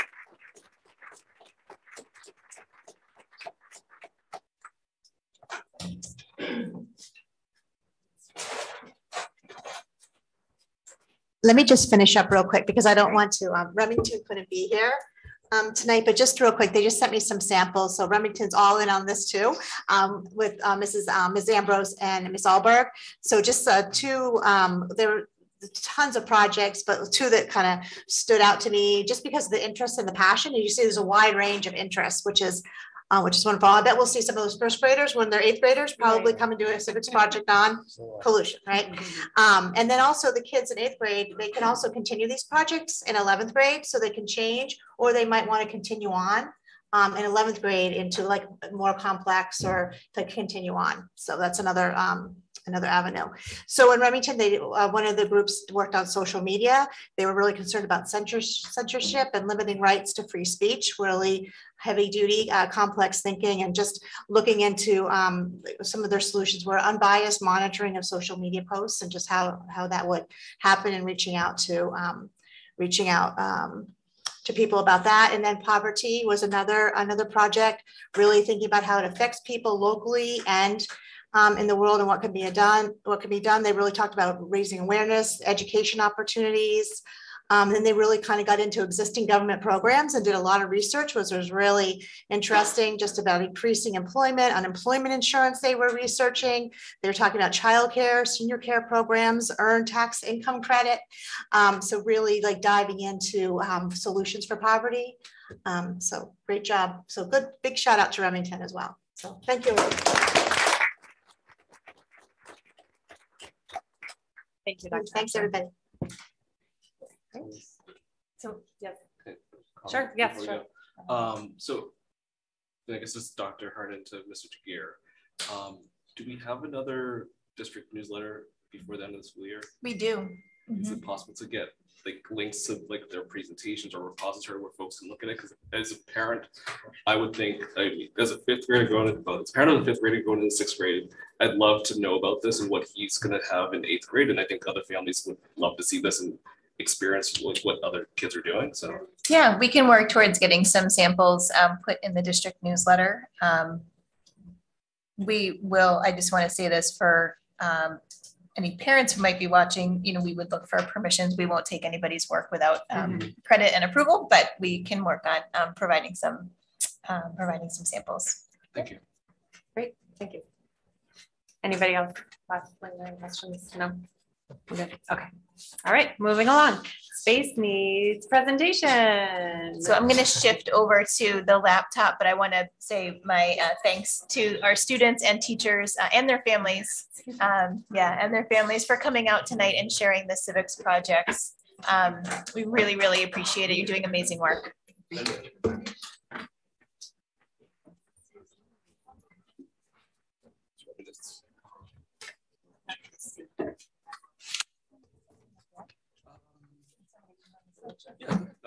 I love the delay as everyone's having to say hi to Ben Franklin on the way out.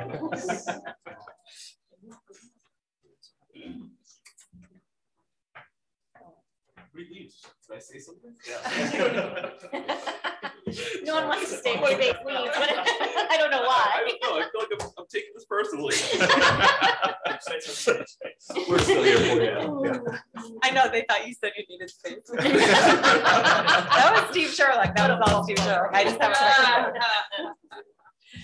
Okay. At least I, thank you for saying. Yeah. Okay, space needs. All right, uh, we'll just wait for the PowerPoint. to Oh, tee sure. up And then we'll, we'll begin. Got all the time in the world. Sorry, just changing accounts. It's all good. Now it's asking me to sign in again.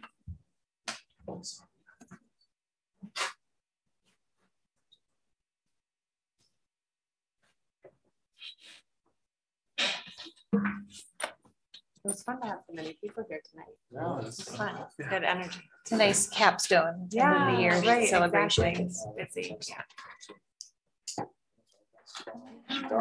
Fifth graders, eighth graders. Yeah, yeah.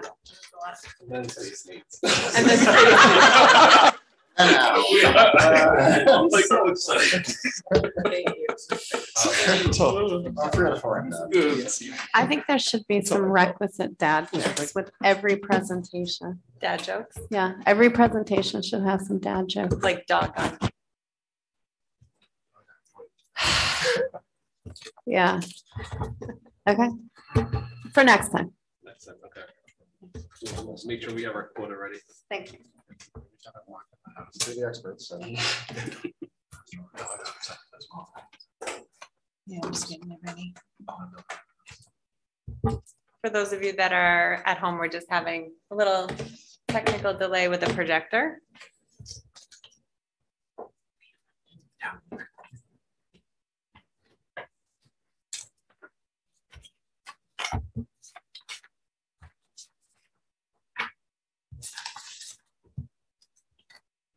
We're just building anticipation. It is, is riveting space needs. I feel like. How uh, about all about that?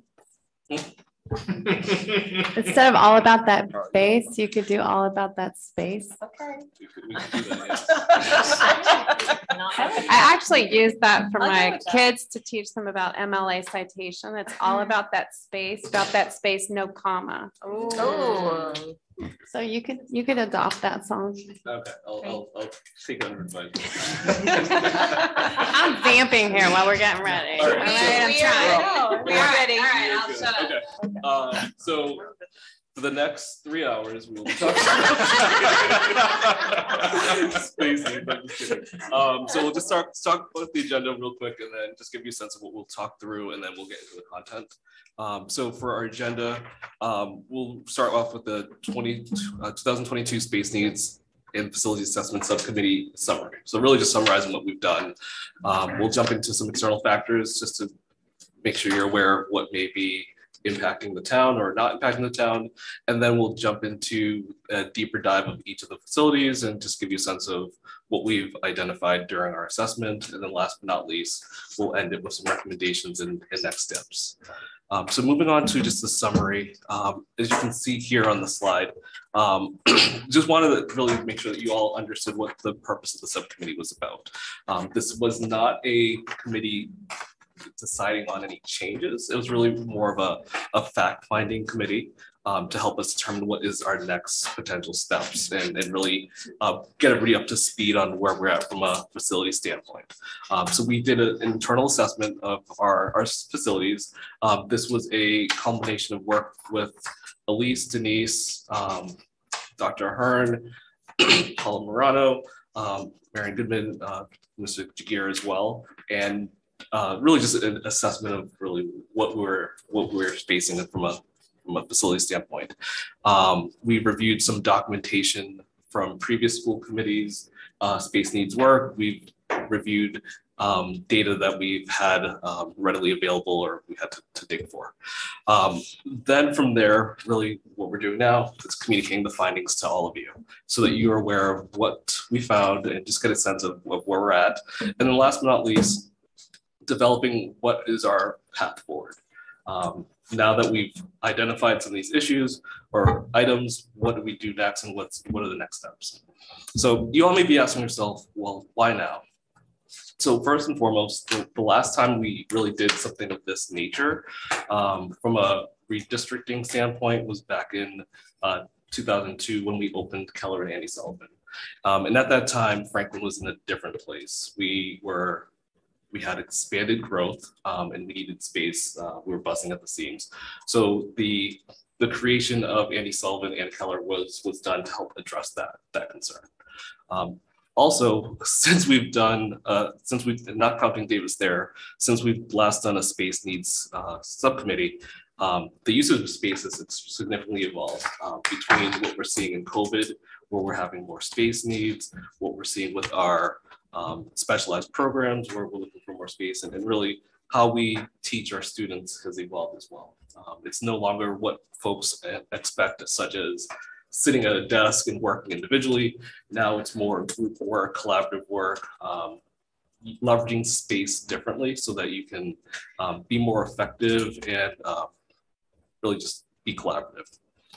Um, also, when we closed Davis Thayer last year, um, part of the work was to address the conditions of the building and not necessarily focusing on the district as a whole. Um, for those that are not aware, um, Davis Thayer, gorgeous building. Um, unfortunately, it just didn't meet the needs, uh, the growing needs of um, the community, um, especially when it comes to ADA uh, support. So, so when we closed that school, we, in the the thought to the least impactful students, we've just moved the group of students together as a whole into a facility that had the space to support it and not necessarily looked at the whole district as a whole to see if, well, how do we make this uh, future proof? It was really more, how do we take care of the, the situation as of right now? Um, also, we want to start to prepare for our future needs. Um, as we've talked about all year long, we are priding ourselves in really keeping our students in district uh, when it comes for specialized programs. And as I had said before, those specialized programs do uh, require more space. So we want to see as we have more students that are remaining in district, district how do we account for um, the space that, that is required for that?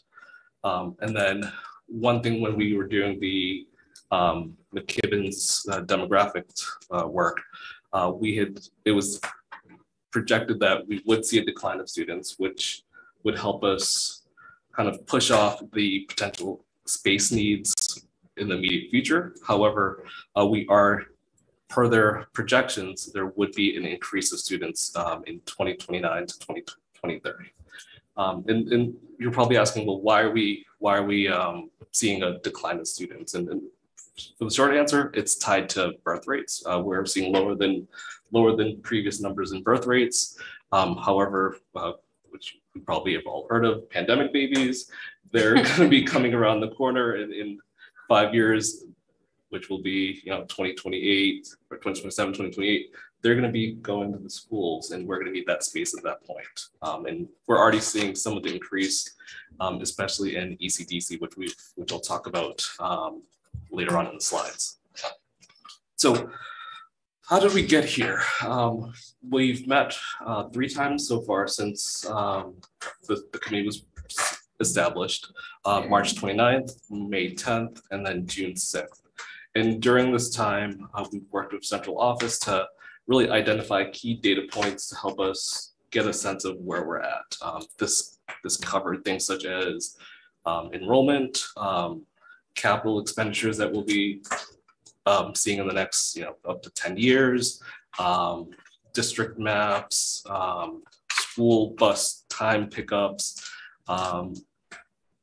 really a wide variety of data, assessments of the various buildings and, and needs, such as um, what we need for space for specialized programs. Um, and then even, uh, which, which wasn't tied to this, but happened, which was great, um, the site visits as well. Um, I thought that was really beneficial to help us get a sense of, okay, what is this, what are we seeing on paper and how does it actually match up to reality? So um, I think that was really beneficial in, in, in helping us tell the story for all of you tonight. So Tonight, as I said, we'll review the data with the school committee, uh, give you a sense of what we found.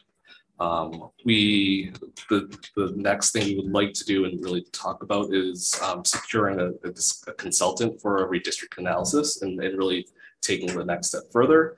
Um, but then also partnering with the community to get their involvement so that we do have a redistricting advisory committee so that it's not a um, something that just within a silo with the school committee or the um, central office. We, we do have some input from various folks from various uh, areas.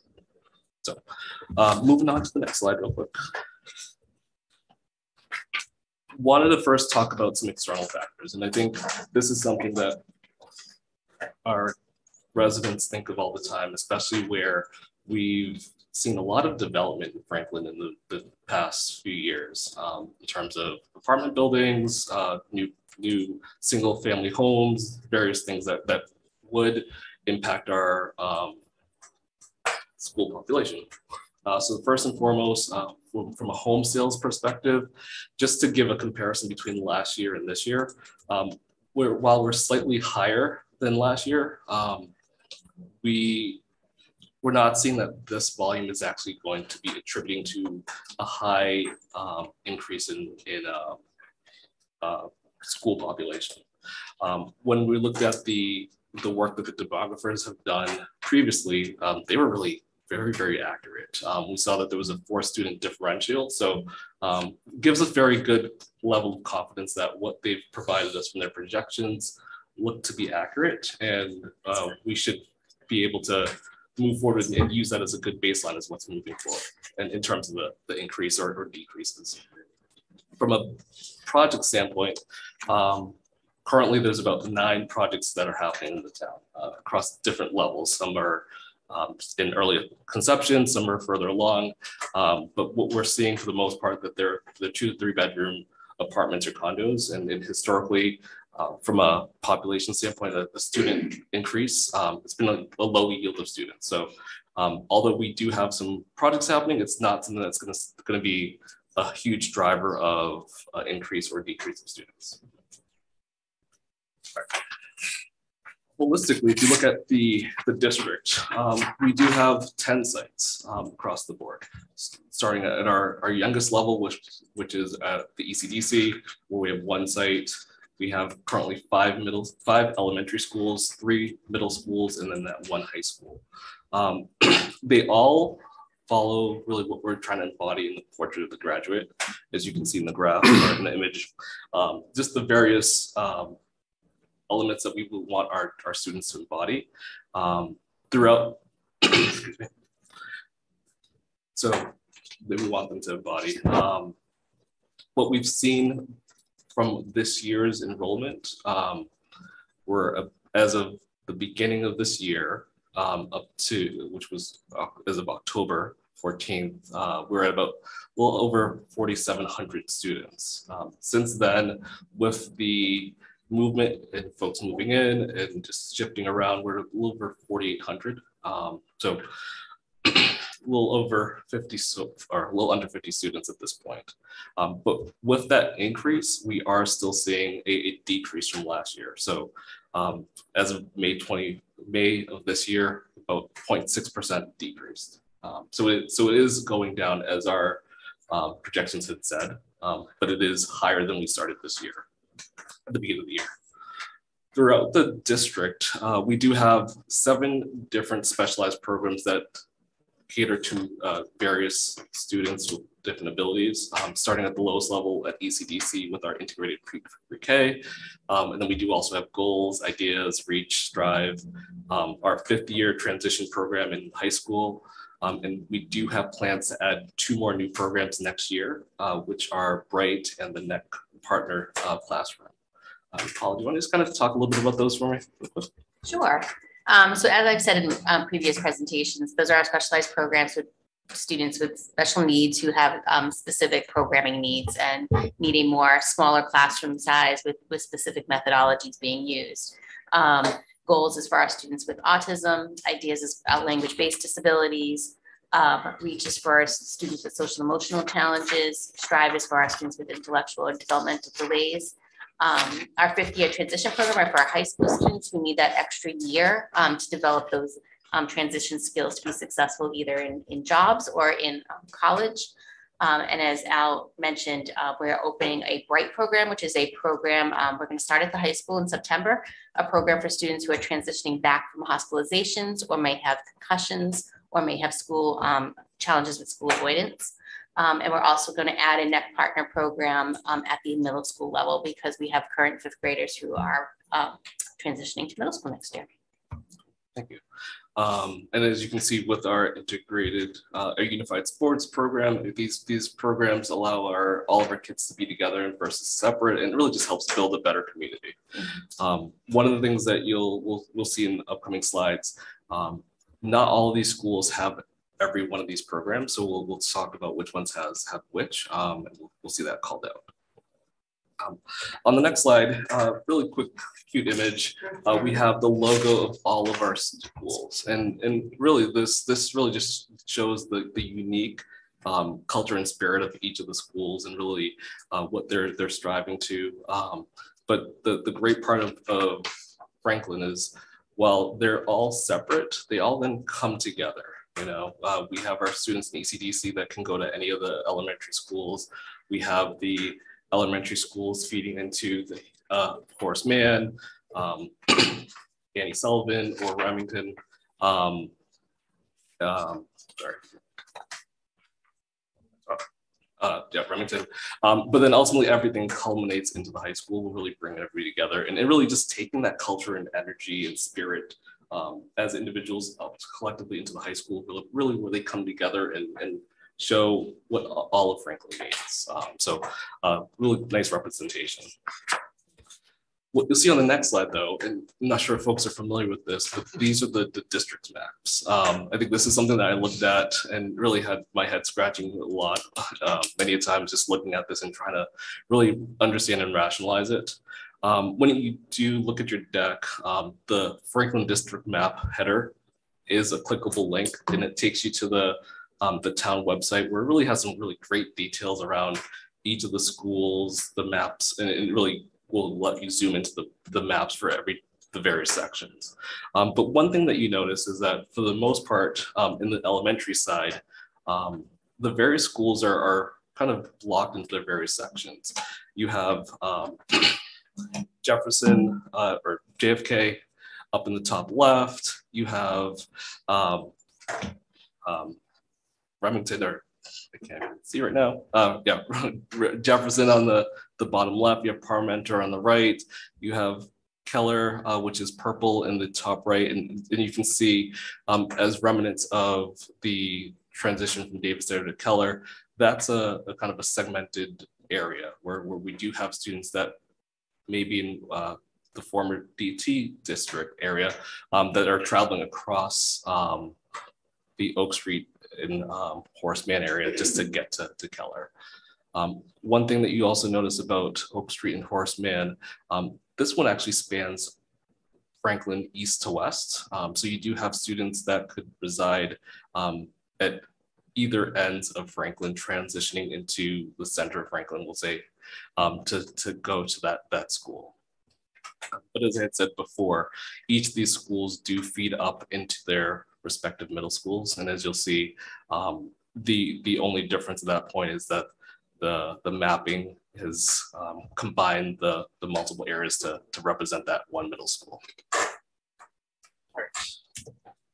Next slide. Um, so going forward, we're gonna just really talk through each of the slides um, individually and really what are the things that we found about that particular facility.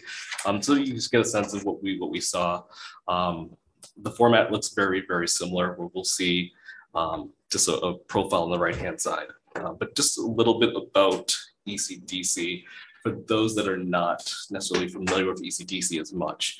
Um, so this is an integrated preschool uh, for all of our Franklin residents that are aged three to five, um, and it's for all of all abilities. Uh, the classrooms are, are, are mixed, so it we're not segregating children based off their ability. Um, they are working together, learning together, um, understanding each other, and, and really um, partnering together so that they can grow even fur further and be more uh, accepting of one another. Um, unlike the other Franklin schools, this school does have a tuition. Um, so there it does range anywhere from 2,200 a year up to 6,300 a year. Um, so it, it is not your traditional uh, public school where you're just you're just going there. There is a tuition that, that is paid. Um, families do have to apply to the school as well, um, and there there is a lottery um, in February as well. The one difference, though, um, compared to regular schools where you start in September and you you go through July, or June, is that um, the enrollment is based off of when the child turns three. So um, while we do have children that will start in September, throughout the year, there will be more addition of children as they go, just because they are aging into the program. Um, and then once they do turn five, um, they would start school in September um, in normal in, the kindergarten program. Um, one of the things that we'll see in this is that all the classrooms all have sinks and toilets as well. Um, that's just one of the, the requirements to really be supportive of that environment. So talking through some of the numbers real quick, um, when we looked at fiscal year 22, uh, they start off with 130 year, 30 students in the um, in the program, um, nine classrooms in, in, total, and then we had various specialized rooms. Um, one was a calm room, we had a motor room, and also a conference room. Um, in our trip to ECDC, that facility was bursting at the gills. Um, the teachers were, were making space to support the kids and really sacrificing their own um, workspace to make sure the kids have what they needed to, to, to really be successful and, and really be supportive. Um, it, it was really a testament to see really their focus was, was on the children and, and not necessarily themselves. Um, and so it was great to hear. Um, but as you can see in fiscal year 23, um, we're increasing by 35%, uh, going up to 175 students. Um, and at that point, as I said, they were already at, it was a high capacity um, and, and, low space for the teachers. Um, however, um, we're, we're going up to anywhere from 10 to 11 classrooms if need be, uh, that one comm room, that one motor room. And as you can notice, um, that conference room that they've had for themselves and has, has to be moved so, or has to be cared for some, in some other way. So it's just something to be mindful of when thinking through um, what's the situation at the ECDC and what they need for from a space standpoint. So that's ECDC. Um, moving on to the elementary schools, as you'll see here, um, once again, our map and just kind of the, the, layout of where, where the schools are in the various districts. So we'll start off with Parmenter. And um, some just facts about the building. Um, so for those that don't know, it was built in 1951. Um, it was renovated in 1988 where an addition was added. Um, think they really did a really great job. Uh, when we went out there to do the, the site visit, it was unless they until they told me which side was the addition and which wasn't you, you weren't able to tell um, they, they really made it cohesive and really um, continuous that it was it felt like one great space. Um, from a functionality standpoint, um, it's deemed to hit 384 um, students, but this is based off of um, just um, space numbers that, that may, may change. So um, while we do say 384, it, it, could be a little bit less and varied. Um, what we're seeing though from enrollment as of right now, about 302 students in, in, in the facility as of the, the beginning of the year or as of as of May, sorry. Um, this is down from last year or of 2020, so 11 percentage points down. So right now we're um, about 79% utilization, whereas previously we we're at um, at 90 90%. Um, so it has gone down and just due to just various factors. Um, Parmenter does have NEC. Um, the NEC program in that facility where they, they currently are expecting to have five students the next year. Um, we've, or that's one thing I missed on the other slide. Uh, we are making significant investments in our town, um, in our schools, and our facilities. And just, Mr. Gary, go back a couple. Um, one of the things that we're doing um, just for the next two fiscal years, uh, and actually to the district profile, oh, yep, thank you. Um, we're, we're spending in just in two years, or at least projecting to spend least $3.9 million on, on various facility needs. Um, and these could be anywhere from replacing a roof, updating the boiler, um, updating a playground, just various things. So we, we do know that there is um, dollars that we need to spend um, to really make sure that our, our facilities are up to up to date and um, we're not lacking in any any way, shape, or form. All right, move back to Parmenter. Um, for them, um, in the next two years, we're looking about uh, 700,000 at that point. And as you can see, it's for a boiler and a playground. So um, there are things that we, we do have on our radar that we're going to do. Um, this is just the next two years, but we do have a 10 year projection um, but as we go further out, the dollars may may change based off of just uh, various costs. Um, one thing just to call out before we switch slides um, is the utilization. When we worked with McKibben's and KBA, um, they gave their perspective around what is an ideal utilization percentage. Um, and, and really the, the goal was to, to not necessarily exceed that percentage. So, um, so where we see 79% for, for Parmenter, it's, it's lower than the projection. Doesn't mean it's bad. It's, it's, it's we're, in a, we're in a good shape and it uh, at least gives us some flexibility um, if the definition of what capacity is um, varies. So moving on to Keller. Um, so this is our newest facility, um, so built in two, 2002, as I mentioned. Um, the functional capacity of this is 536. And as a result of the, the combination of the two, uh, two schools, uh, this year we were at uh, 553. Um, so we, we are higher than capacity. Um, and it's about a 38 percentage point increase from 2020. Um, now you, you may all be concerned as well, well, Keller's at 103%. Um, how are they, how are they really handling the, the space needs and really handling all the students? Um, the great part is, is that we do have great leadership at Annie Sullivan and Ann Keller, and they, them and also the other middle schools that are conjoined with an elementary school, um, there's really strong partnership to really understand, okay, what are our space needs? And they do flex. So if there's a need for more space and for, for teachers, they'll communicate and make sure that they move things around so that both areas um, are are uh, have adequate space um, and they're not necessarily suffering or, or, or, jamming all their kids into one small area. Um, so if you look at at Keller, we'll just say if you say it's a pie, um, they might be Keller might be using 70% of the facility and Annie Sullivan's using the rest um, one year. But if there's less students, they might flex and, and adjust accordingly. So um, there's definitely a lot of communication and, and just partnership between the two leaderships. Um, in Keller, uh, there is Strive, um, and in, in, fiscal 23, we're looking to see that there'll be nine students at that point.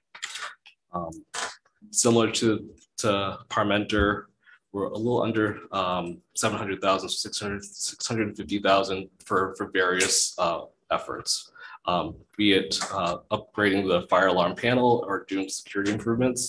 Um, and this, this cost covers both Keller and Annie Sullivan. So it's not just one portion, it's, it's the whole, whole building in the entirety. Uh, moving on to Jefferson, um, similar to Keller, um, fairly newer building um, in comparison to the others built in 1996 with the capacity of 433 students, um, but currently enrolled 337. Uh, we're at about 78% utilization, which is down from two, 2002 by two percentage points. Um, and then once again, from a specialized program, um, we have goals, uh, which uh, is going to have 22 students next year, and then ideas, which will be looking to have nine students. Um, there, this one here has a, a lot of uh, planned work. As you can see, um, double than what we've seen, or more than double than what we've seen in previous slides, uh, with hitting about 1.6 million. Um, and this ranges from the boiler, the fire alarm panel, uh, an update to the basketball or playground, um, and then just other security improvements. Um, so um, just things to be mindful of um, that although it's it's newer, there's still there's still regular work that needs to be done on the various sites. At Kennedy, um, built in 1964, um, renovated back in 1999, and, and, this is when we had added um, the modulars. So um, if you're not familiar with the building, um, adjoining the cafeteria, or not the cafeteria, adjoining the um, the gymnasium, there's there are modular classrooms that are there that I believe there's four. Is that correct, Dr. Ahern? Modular classrooms, there are three. Three, thank you. Um, but they're they're just four. addition oh okay, four. Thank you. I was like, okay. they're they're used for various things. Um, I believe there was health in there, uh, music, and I forget what the other two were, but uh, these are just rooms for extra space that the school uh, students can use uh, for various things. Um, for right now, we're looking at, from a capacity standpoint, about 443 students. Um, however, we're, we're at 342 as of May of this year. Um, it is down two percentage points from 2020, so we're about 77%. And from a specialized program, we do have NEC there as well, which which has three students. Um, one of the things that I've, I've noticed with with um, Kennedy, which is different than the other other classrooms, um, probably one of the things that, that's a little unique. Um, when you look at like the gymnasium or the cafeteria, um, they actually have classrooms that are abutting those those rooms. Um, so there's actually entrances in and out um, from the from the cafeteria where and the gym, which is a little bit different in the other schools. Um, as far as from a maintenance standpoint, probably one of the least um, costly maintenance program. So we're looking at about 150,000 uh, just from a security improvement standpoint.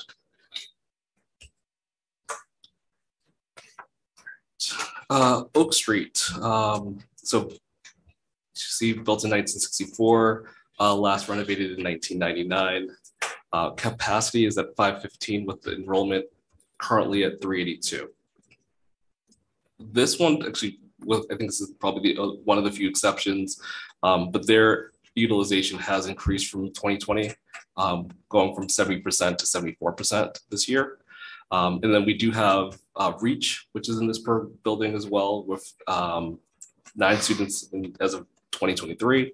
Um, but one thing that's a little bit unique is that they do have lifelong learning office space here. Um, so it's not necessarily the classrooms, but it's just the the administration um, currently has some space in this this building as well. Um, so they're they're sharing that that space um, for, the, for their for their purposes.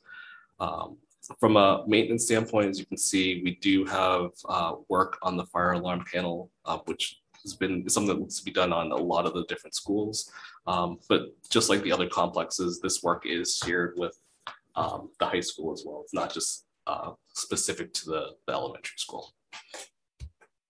So those are our um, various elementary schools and just kind of the status of them in terms of um, capacity, programs, and, and, and, just really upcoming expenses that we should be mindful of. Um, So moving on uh, to middle school. And as I mentioned before, all the middle schools are fed by the the um, the five elementary schools where um, those those areas are now just feeding into uh, that that middle school. So we have Oak and Kennedy going into Horace Mann. We have Annie Sel or Keller going into Annie Sullivan.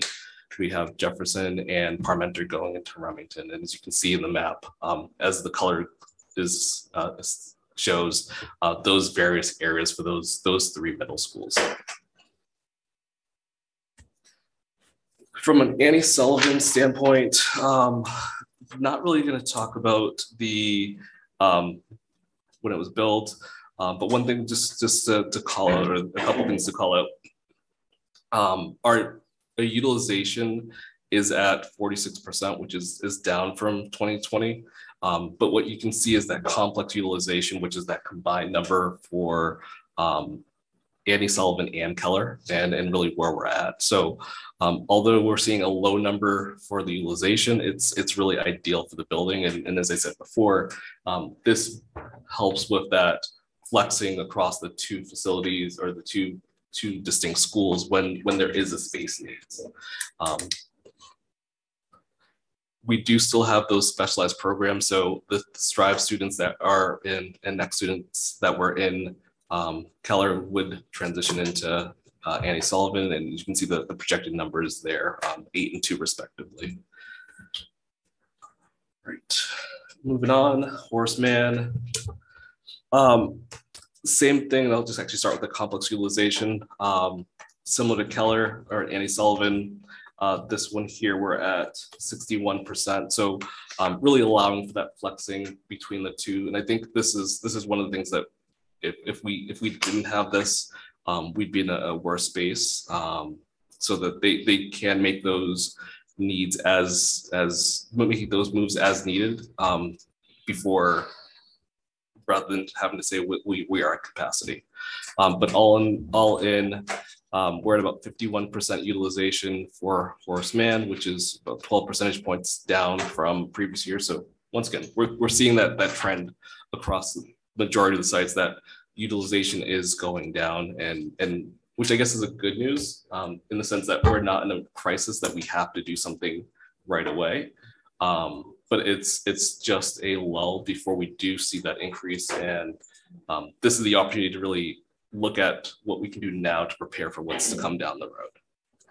Um, but because of that space, um, we do have reach um, with the 12 students and then also that opportunity to add um, Bright um, next year as well. Um, and uh, we, we don't know the number of students as of yet.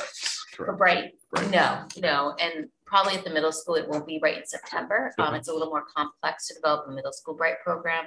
Um, so we're working, we're starting the planning stages now.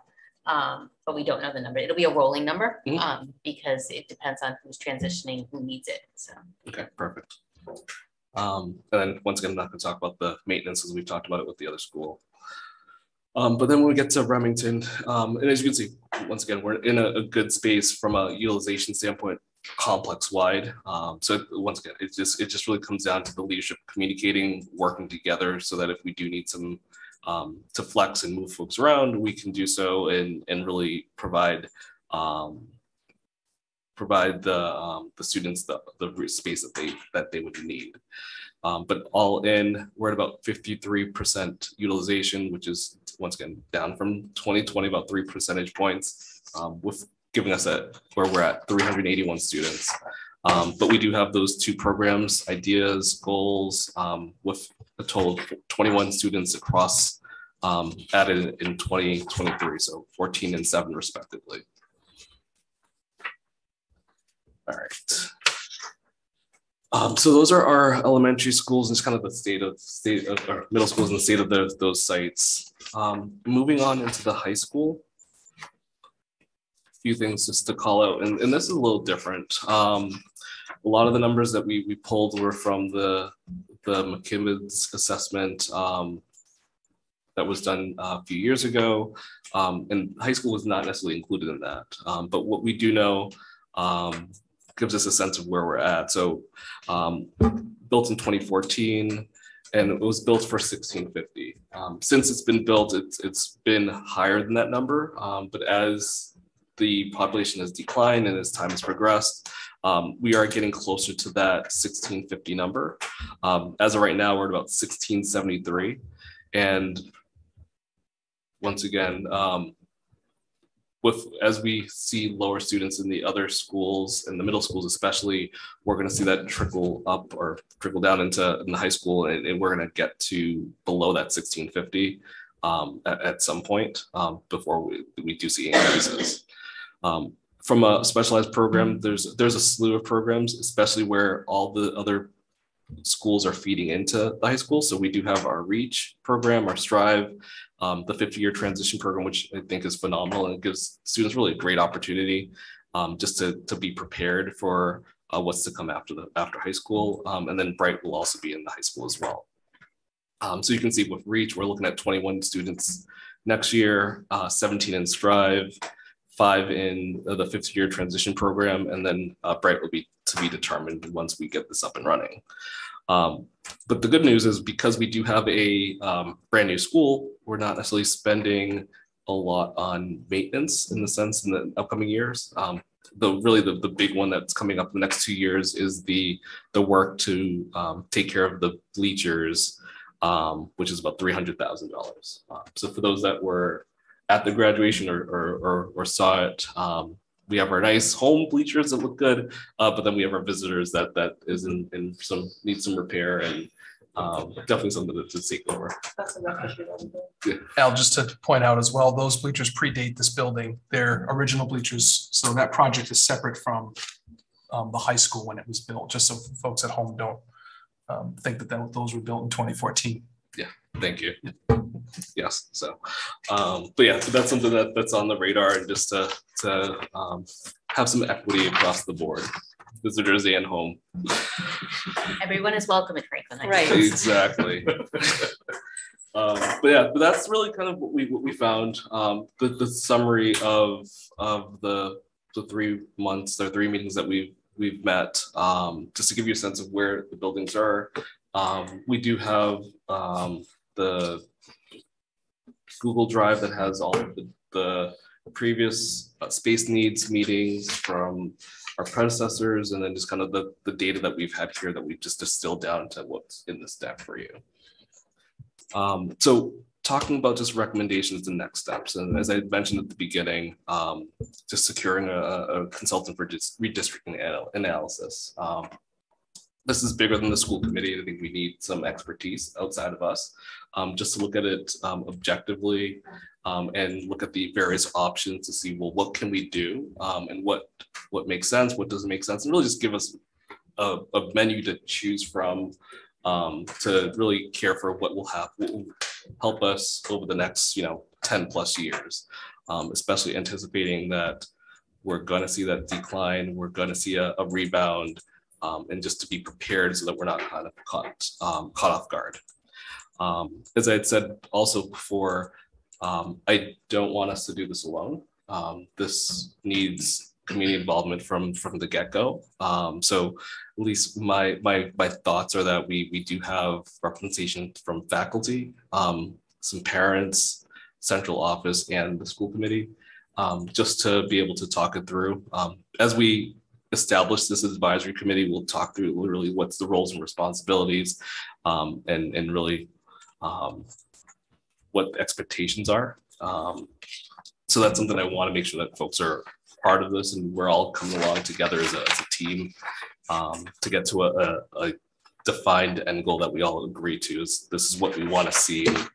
Um, the consultant will help us figure out how to get there.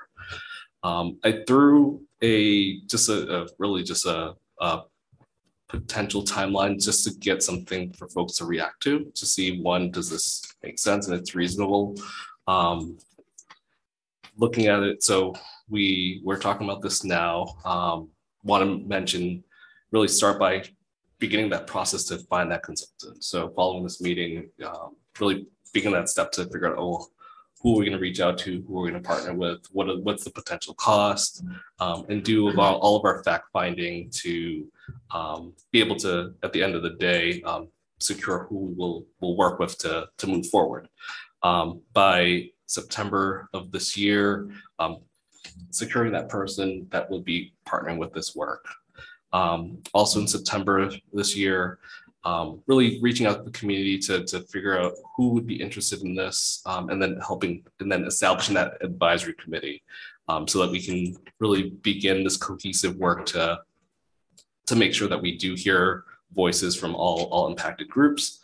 Um, from there, we'd work with that consultant to do all the analysis and feedback and, and ultimately um, March of 23, at that point, um, we'd have something um, prepared and packaged up to bring back to the school committee to say these are our options A, B, C, and D.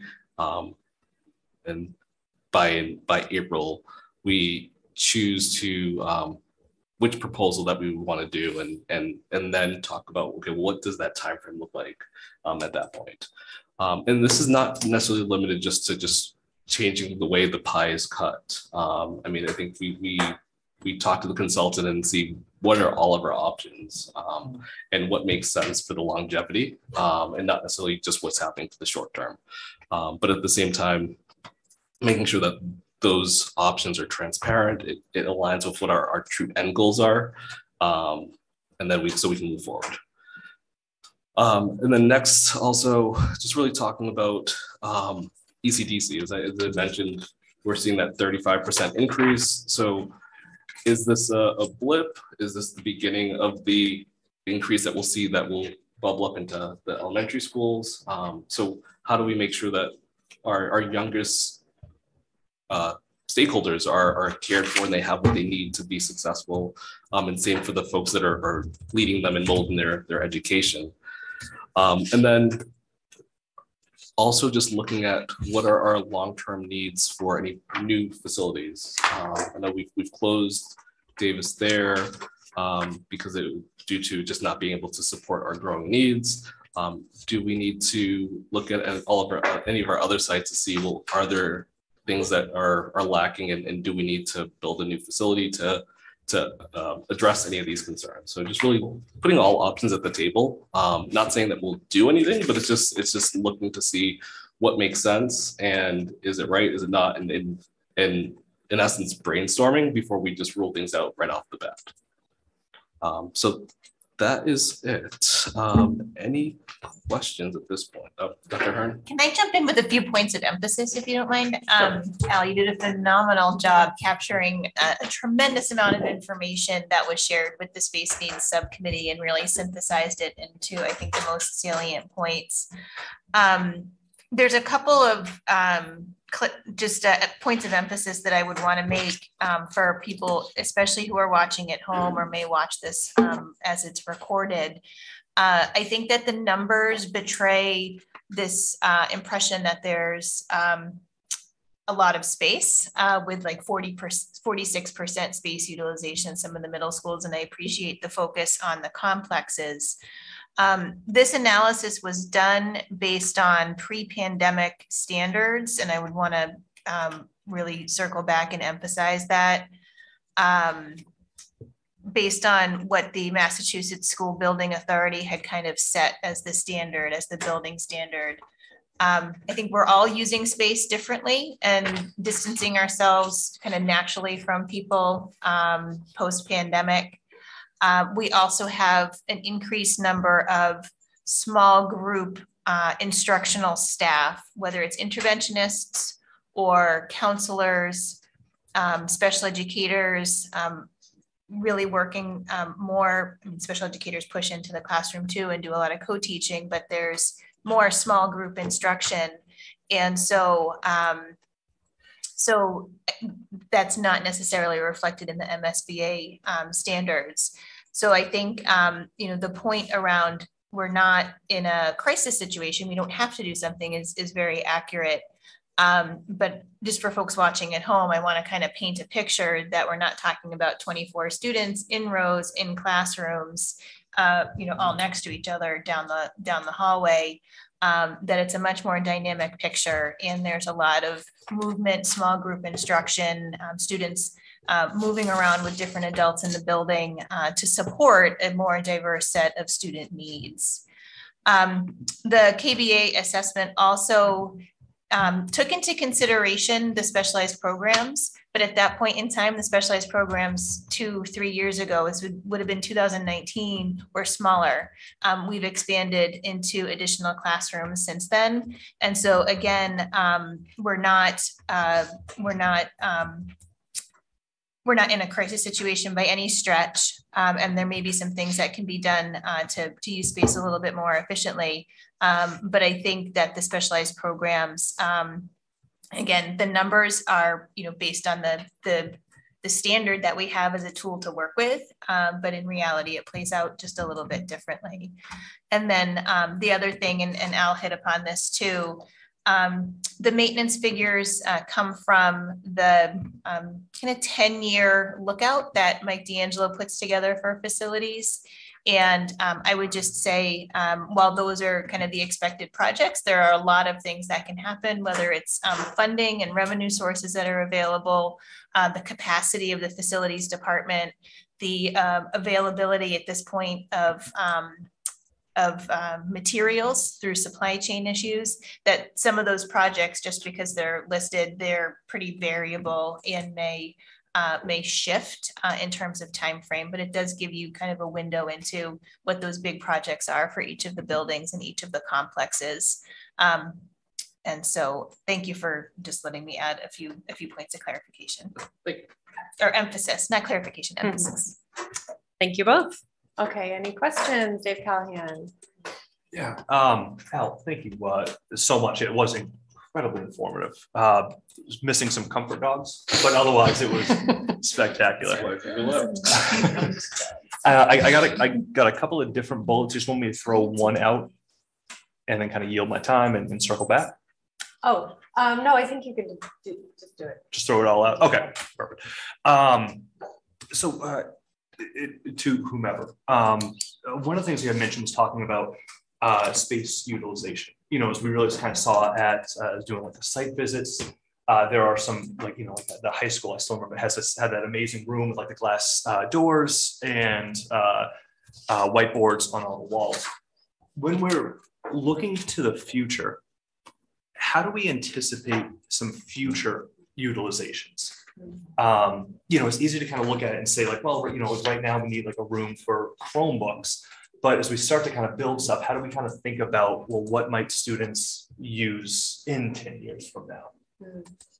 But would that just be something that we want to make sure that we kind of have like the consultants, uh, consulting team? I think it's a great, I think it's a great question um, in terms of kind of visioning. Um, as you talk about the portrait of a graduate, there's the curriculum um, that you would seek to align, but then, you know, what, and that's going to involve resources, including staffing as well as including space. And so, um, you know, I think that that's, uh, I think you know, the redistricting analysis would kind of strictly be numbers in terms of trying to balance out uh, and make the map uh, a little bit more efficient. Um, but you know, there's a visioning piece around how you and you know, and a new superintendent coming in, um, strategic planning, uh, working with the school committee and the school community could kind of check in on that and, and do some visioning, um, and then you could align your plan accordingly. Thank you very much. Um, and then uh, something else when you talked about the the in-district specialized programs, um, you know, obviously that is something that's that's fantastic. Um, there was there was a video talking about the unified basketball team in which they, they specifically kind of mentioned uh, some of the family members kind of coming to Franklin, hearing about some of the programs that we have to offer. Um, you know, Ali, you said it was, you know, it's something prideful, and it definitely is. And but not to be cold, but it also is a, is a bottom line in there too. And I think that's something for the community to kind of understand that there's also a lot of cost savings by being able to, to have these programs and keep them in the district um, versus um, you know kind of going out. But um, in terms of the specialized programs, one of the things I saw is at the elementary school level, and I know that each program services different needs um, and, and, different children, but uh, most of the elementary school uh, elementary schools, when we talk about like the student population in those specialized ones, it was kind of within single digits. Uh, and then over at Jefferson, I think it was about like almost 30 or above 30. Is there, is that something that we need to look at in terms of balancing out uh, some of the specialized programs across the rest of the district? Yes, I mean, you need to look at space, but you also need to look, what's tough too is that um, as a kid, if you have, say you put some classrooms at Jefferson and some classrooms at Kennedy, we'll just give that for example. So that, that means there's more transitions for students because if you do it by grade level, um, you know, if they get, once they get to third grade, we're gonna transition you to Kennedy and you're gonna have a, you know, you're gonna do fourth and fifth grade at Kennedy. So that, that's one option that you look at and you, and you wanna be careful with that.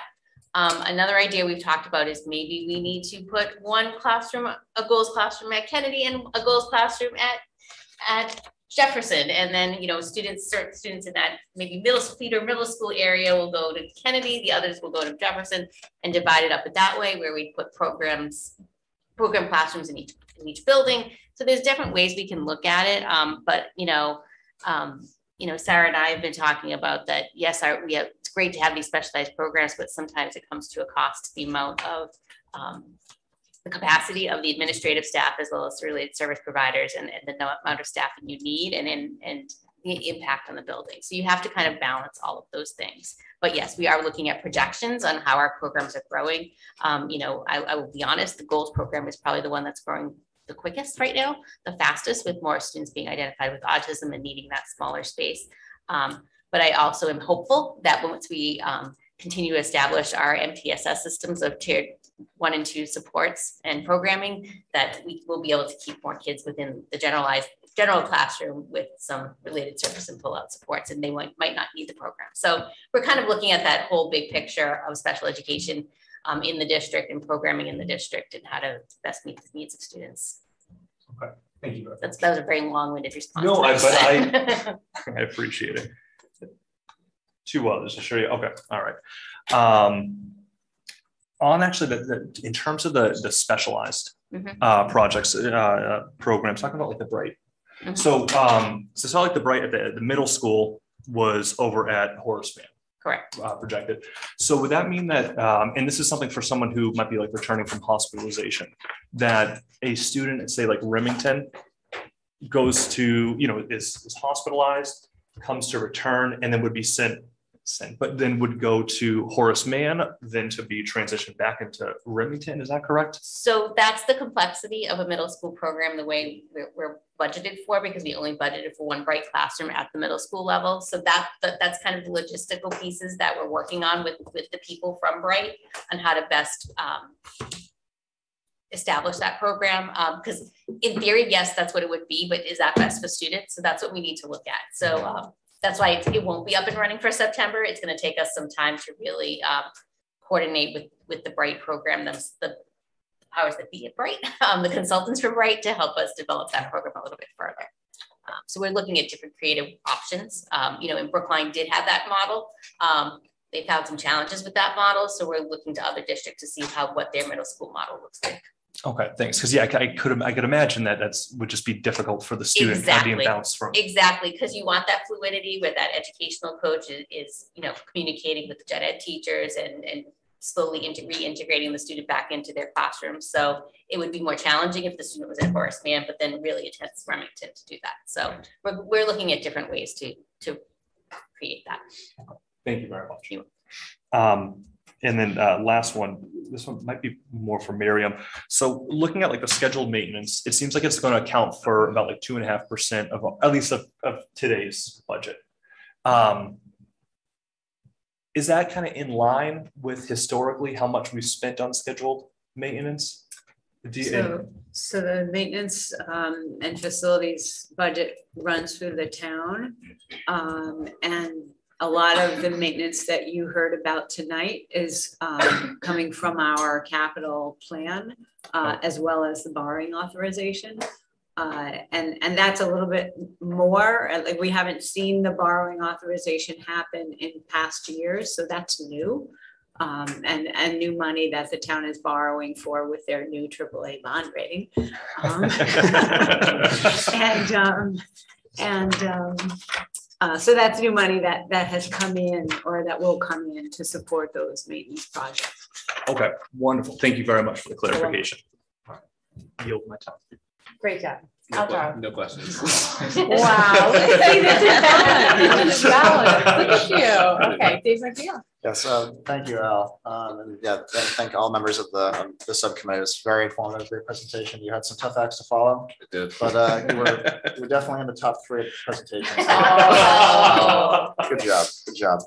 Um, yeah, I, um, I think this timeline, um, I think this timeline is, is great. I look forward to, um, seeing the results.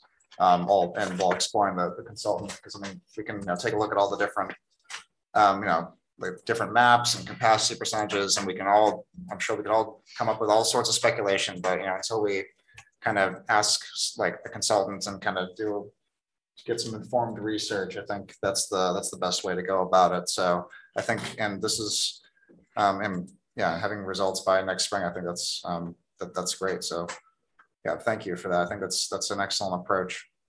Um, you mentioned, you know, back in you know 2002, the last time that we did um, redistricting, we were uh, Franklin was more of a growing community, and it's not quite the same now. Now, do you or do, do any of us? Do we have like maybe some more like comparison data from 2002 to now that like we can maybe shed some light on where we are now based on what happened then? I have some um, enrollment information that I can share with you related to 2002. Um, I didn't necessarily look at the facilities and the and the layout, um, but I think you know how it was structured and kind of set up for students to flow through the district.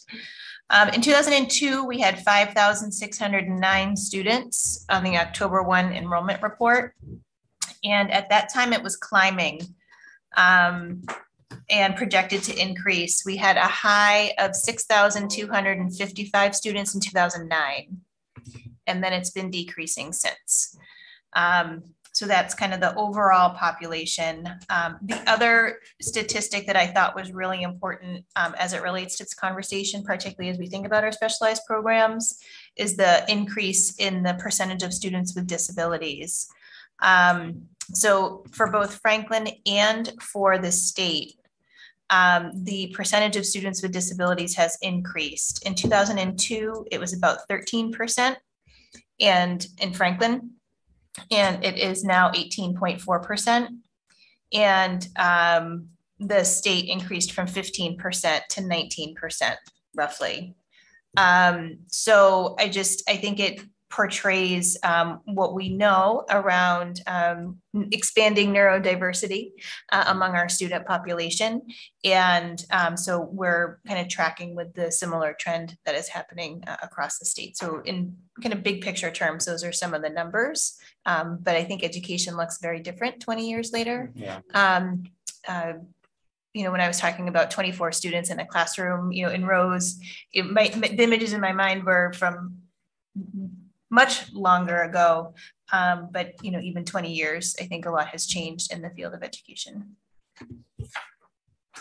Thank you, appreciate that. And uh, yeah, I was also curious about um, the, the specialized programs, but uh, Dave's question touched upon that. So yeah, thank you for, uh, for that, Paula. Yeah, Good teamwork, guys. There you go. Thank you, Thanks, Uh, yeah, thank you, uh, Charles, for that presentation. And uh, yeah, I, I think uh, it'll it'll be great to you know analyze the data, look at trends, have those experts you know weigh in, uh, all the stakeholders involved, and make you know a uh, educated you know, decision on actions you know, we need to take in the future. Great, thank you. Camille Bernstein.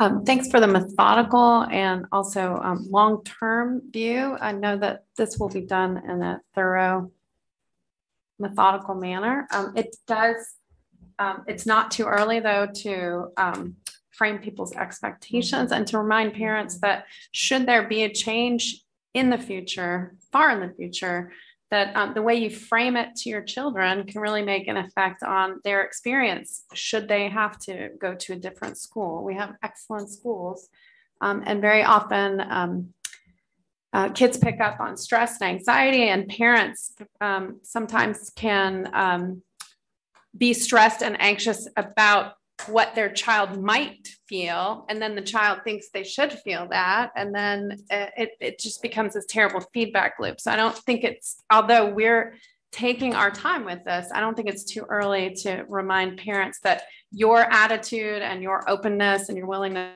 information and also to um, reframe for your child about the positives um, because um, I would be happy to send my children to any of the schools in the district. Um, and um, certainly, we move to neighborhoods or we move to a town, and we uh, might have older children who have a certain experience, but that doesn't mean um, following whatever might happen that your subsequent children couldn't have just as good an experience. So I, I, I will probably say this over and over and over and over and over every time there is mention of the space committee. So thank you.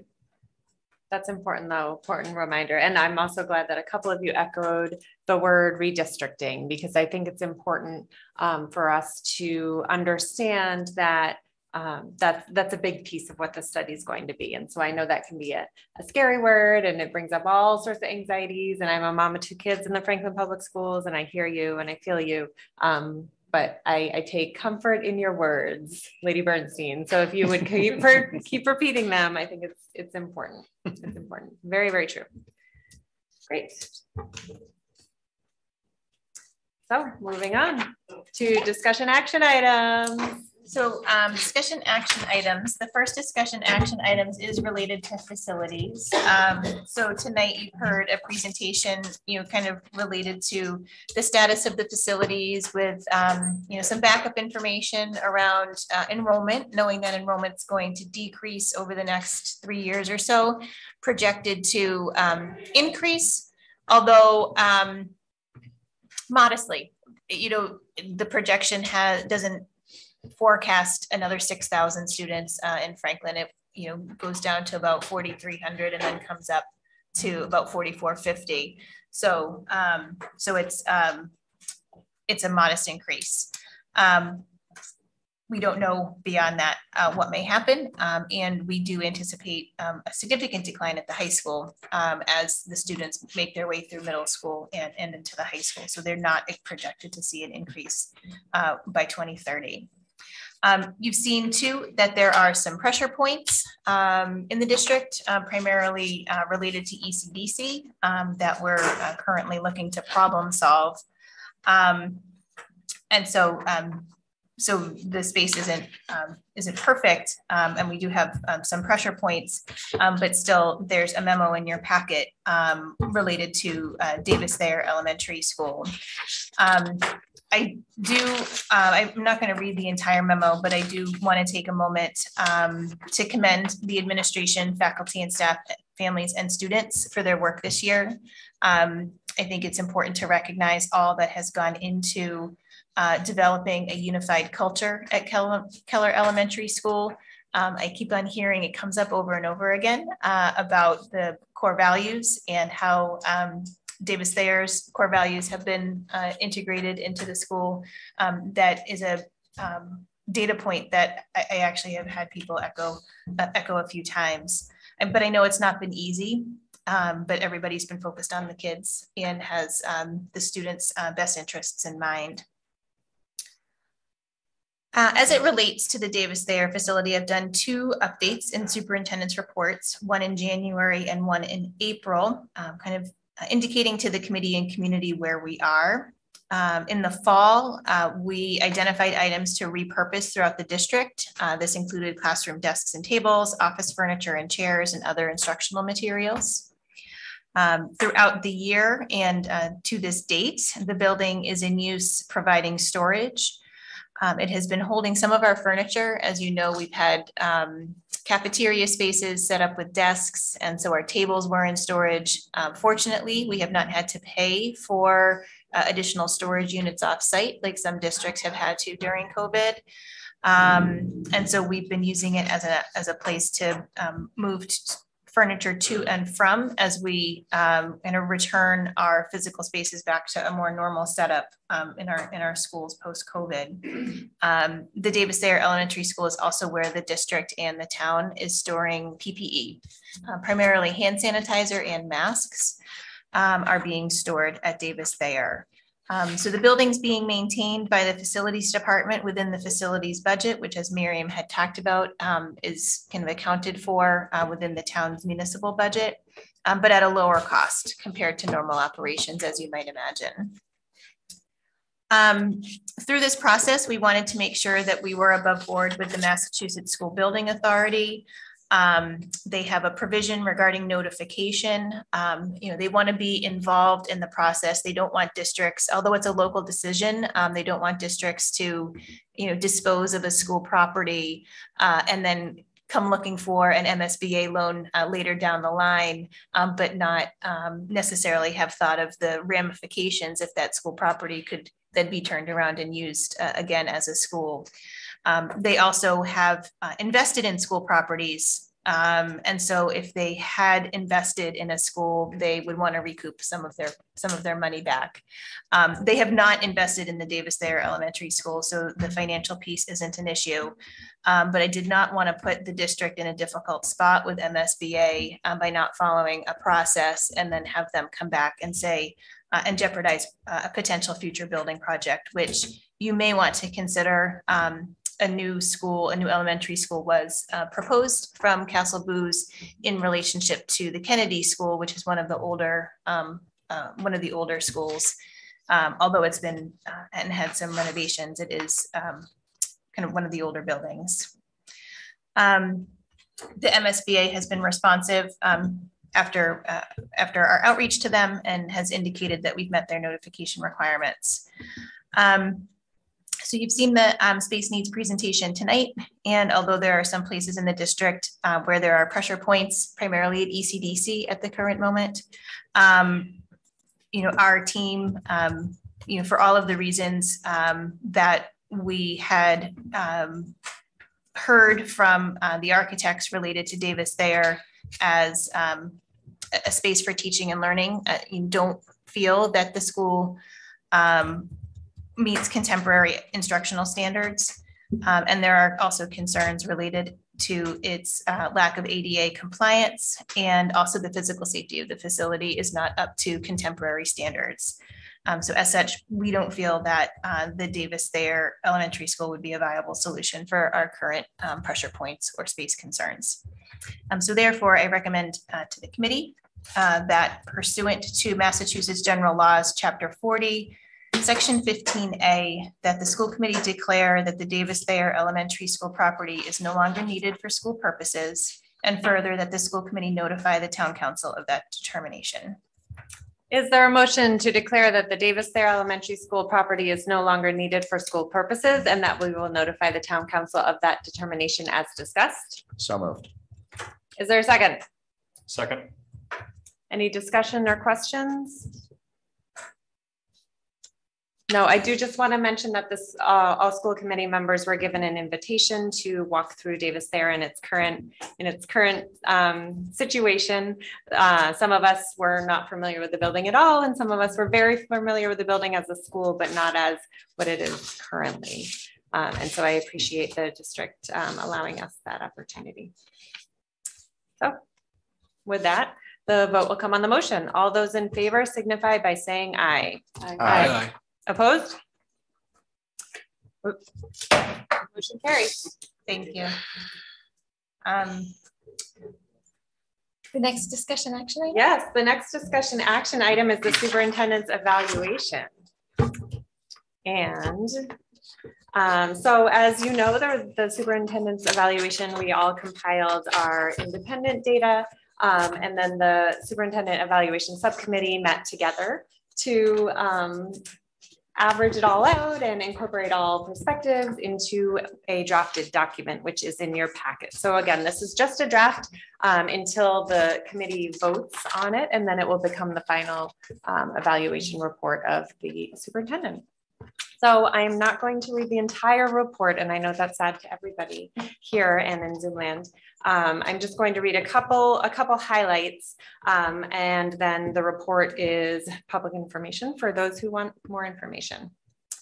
So the um, introduction is a little bit about the process, and then we start talking about our current landscape this past year. This year continued to be a year of unprecedented challenges for students and educators of Franklin and our nation.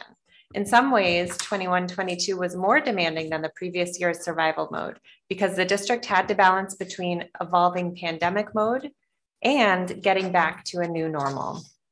In her leadership, Dr. Ahern exhibited the utmost professionalism and high standard of excellence in her administration of the district business. Always prepared, relying on data-based decisions, Dr. Ahern demonstrated thoughtful, methodical, compassionate, and ethical decision-making. So that's part of the introduction, just to get us set up here. Um, looking through the goal ratings, we see that out of the performance goals, six performance goals, uh, five of them are met. And those goals are the professional practice goal, student learning goal, social emotional well-being of students and staff, engaging and rigorous curriculum, and effective two-way communication to support student learning. One of the goals was rated as significant progress, which is high quality instruction to meet the academic and SEL needs of each learner, um, in part because one, one piece of that hadn't, um, due to the transition superintendents wasn't completed. Out of the focus indicators, four uh, focus indicators were marked as proficient. That's curriculum, instruction, engagement, and shared vision. And two focus indicators were rated as exemplary. That's laws, ethics, and policies, and fiscal systems. So given those ratings, our overall final composite rating of Dr. Holmes' performance this past year is proficient. And there are a number of uh, commendations in the report.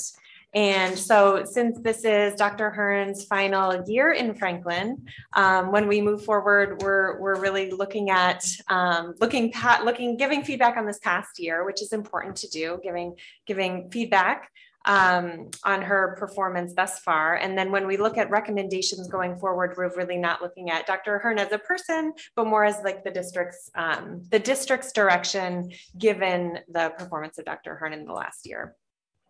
So a couple of the commendations, there's a page and a half, almost two pages. There's many commendations here that um, my colleagues were generous to share. I'll read a couple just to give you an idea. Social emotional learning has clearly been a priority under her tenure. The superintendent led commendable work around SEL related data, assessment, budget items, and communications. The superintendent often sent out community-wide emails whenever sensitive events occurred in our community or our country. Often these emails would include resources to help community members in need. Under her leadership, professional development has moved towards more voice and choice with teacher designed and teacher led that honors educators' professionalism, differing needs, and their skills while providing opportunities for them to be teacher leaders.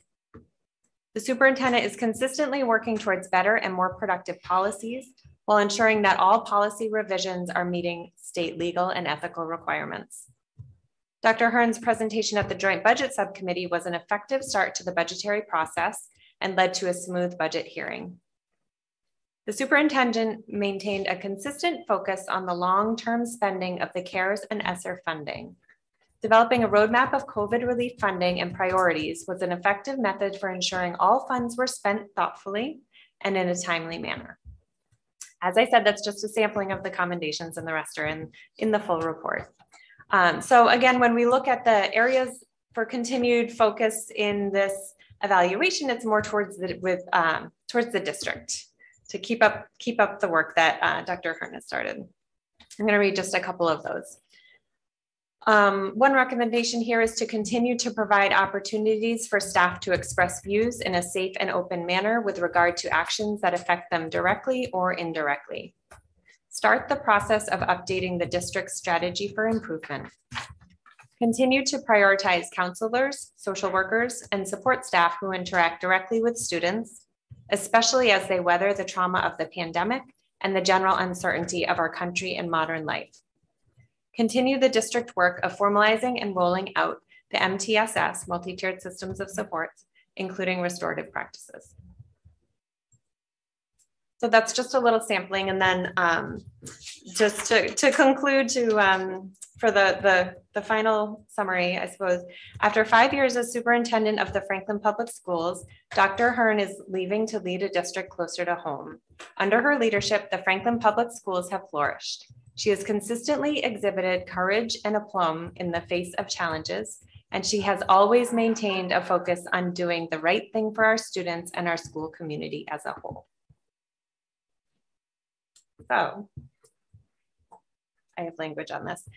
Um, so the acting chair recommends approval of the superintendent's evaluation as discussed. Is there a motion? So moved.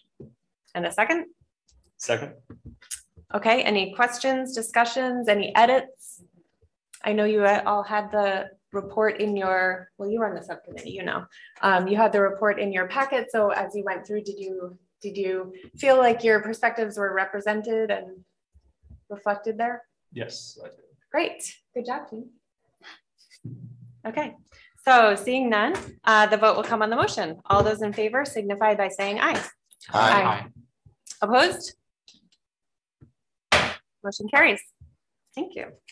Thank you. And I always, if I can just jump in for one second and react, um, I want to thank you for all the time that you took individually to put together your individual remarks as well as what the subcommittee did uh, to synthesize them uh, in a meeting last week to put together the final report. I had the opportunity to sit with Elise uh, a little bit ago and read it before it came out um, publicly and want to thank um, her leadership too as um, the chair of that subcommittee in putting it together um, I've always felt that the feedback that I've gotten has been um, really valuable to me, both personally and professionally, and uh, also uh, does help um, steer the direction of the district. Um, so it's an important process uh, to go through. Um, and as I've said all the time, um, my work uh, happens through and with other people. Um, and it really is, I think, a team evaluation in so many ways because um, there are uh, folks here in central office, there are leaders in the building and faculty and staff members who are carrying out SEL, who are taking that data, who are leading professional development. And so um, informing policy and working to develop the budget, uh, among other things. And so I do uh, have to share this with um, with the team, uh, the folks sitting here tonight, as well as uh, others uh, in the district. I've always thought that this is something. It's always uncomfortable because um, I think it reflects uh, really the work of so many people, and um, and I appreciate I appreciate your input and your feedback. Um, but because this represents the work of so many people, um, I'm so sad to be leaving, but I know that you're in very capable and very good hands um, going forward. And um, and there's going to be more great news headlines coming out of Franklin uh, of all this great student outcomes and student achievements. That's true. There will be. I don't doubt it. And next year, the evaluation is going to be so much more robust, so much more in good ways. Okay, so next item, um, C, revised FY23 budget. I'm going to turn over to Miriam. Sure, so you have a amendment in your packet asking that you uh, approve a revised budget, adding a, an allocation of three thousand eight hundred and twenty-nine dollars to be allocated to a specialist teacher salary line item at Franklin High School. Um, the reason for this additional allocation is, as you recall, um, you approved a budget back in April um, that was in fact three thousand eight hundred and twenty-nine dollars less than what the town approved after you approved your budget on May twenty-seventh. So um, right now, the recommendation before you is uh, to approve a budget in the amount of seventy million two hundred and twenty thousand eight hundred and twenty-five dollars. Is there a motion to approve the revised FY23 budget amount of seventy million two hundred twenty thousand eight hundred twenty-five dollars as discussed? So moved. Is there a second? Second. Any discussion or questions? No, seeing none, the vote will come on the motion. All those in favor signify by saying aye. Aye. Aye. Opposed? Motion carries. Thank you. Meal prices. Next, um, uh, school meal prices, uh, again, a memo in your packet. I, I won't, I won't read it for you. Um, but I will summarize for the public. The USDA waivers are going away uh, effective June 30th. They will be expiring. Um, the waivers uh, allowed for free lunch for all students. Um, prior to the pandemic, free lunch was only eligible for students who were eligible for free uh, or reduced price meals at, at a reduced price. So uh, in preparation for that, we are um, requesting a, an increase uh, to meal pricing in light of um, increasing meal uh, food costs, increasing maintenance costs, other expenses that are increasing. Uh, the program itself is uh, operates self-sufficiently at this point, needs to operate self-sufficiently. The appropriation budget that you just approved doesn't include any appropriation for food services. Um, the recommended price increase in meals um, is looking at a 50 cent increase across the board for lunch uh, and a 20 cent increase in breakfast. Um, the minimum price target that the Department of Ed has set at this point in time is $3.31. Uh, so our um, elementary pricing would go up to $3.25, middle school lunch pricing uh, elementary lunch, that is. Um, middle school lunch pricing would go to three dollars and fifty cents, and high school lunch would be three dollars and seventy-five cents. Um, and a, um, a breakfast across uh, the district would be two dollars. So that is the recommendation before you. Happy to answer any questions you might have. Is there a motion to increase the meal prices for the 22-23 school year as detailed? So moved. Is there a second? Second. Any discussions or questions from Miriam? So, uh, yeah, one thing. Um, so with the, with the free lunch going away, um, do we have plans in the district to cascade around how, what's the eligibility for these free programs if people aren't aware? Um, just so that they're not caught off guard or just Sure. they're eligible and they just don't miss out. you know? Sure. So, so one thing I did want to add to you is, uh, to, to let you know as well, is that there is some discussion at the state level right now to maintain, um, free lunch um, for students. We don't know what that outcome is going to be at this point in time. Um, the House budget included that. The Senate budget does not include that. They're going to go to conference. We'll see where it ends up. Um, in the event that that it does not pass, um, then meals would be at a cost. Parents who are eligible for free or reduced price meals, um, if if they don't know they're eligible, they can um, apply online uh, or get a paper copy of an application um, that will be out in the middle of August. Um, it looks for household income and household size, uh, and there are determination levels um, based on the poverty level. So we will be accepting those applications uh, once the application comes out from the Department of Ed in um, in the middle of August, um, and then um, families who might not might, not meet the reduced price allocation eligibility um, guidelines uh, have an opportunity for maybe uh, potentially some financial assistance through the school committee policy.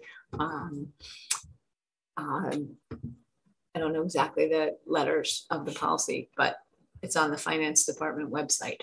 Uh, and the application for free and reduced meals is also on the um, food services website on our district website. Great, thank you, Miriam. All set up? Yep, all set, Good. thank you. Dave Callahan? Yeah, um, this was just disappointing that we're kind of having this conversation. The, the free uh, lunches for everybody just level set. Yeah, it, it provided a level playing field. Um, Suppose for, for, um, you know, our civics, uh, projects, if there's anybody that, that is interested, you know, and, and, you know, petitioning out to, uh, to the State House, uh, this would, this is a a spectacular, uh, one to, to try to push. Um, and then just to kind of piggyback on uh, Miriam, what you talked about with the, the free and reduced uh, lunches, I think that, um, and please kind of correct me if I'm wrong or, or elaborate, but uh, when we were doing the site visit, this was a conversation that kind of came up. And uh, the schools, the admin, uh, the, the um, lunch service uh, employees, everybody does a great job of making it a very discreet um, action uh, that's done. So, um, you know, so the students don't kind of have any stigma attached to it. Uh, so for any, any parents, any families that are in need of some of these services, please, please uh, don't hesitate to reach out. Um, and uh, again, you know, admin just did a fantastic job of making sure that, um, you know, the students aren't aware of uh, any of the differences. So please don't hesitate to, to reach out and ask for help. Great, thank you. Anybody else? That's that. Great, so we have a motion and a second. So the vote will come on the motion. All those in favor signify by saying aye. Aye. Opposed? Motion carries. Great, moving on. Refund of graduating seniors meal balances.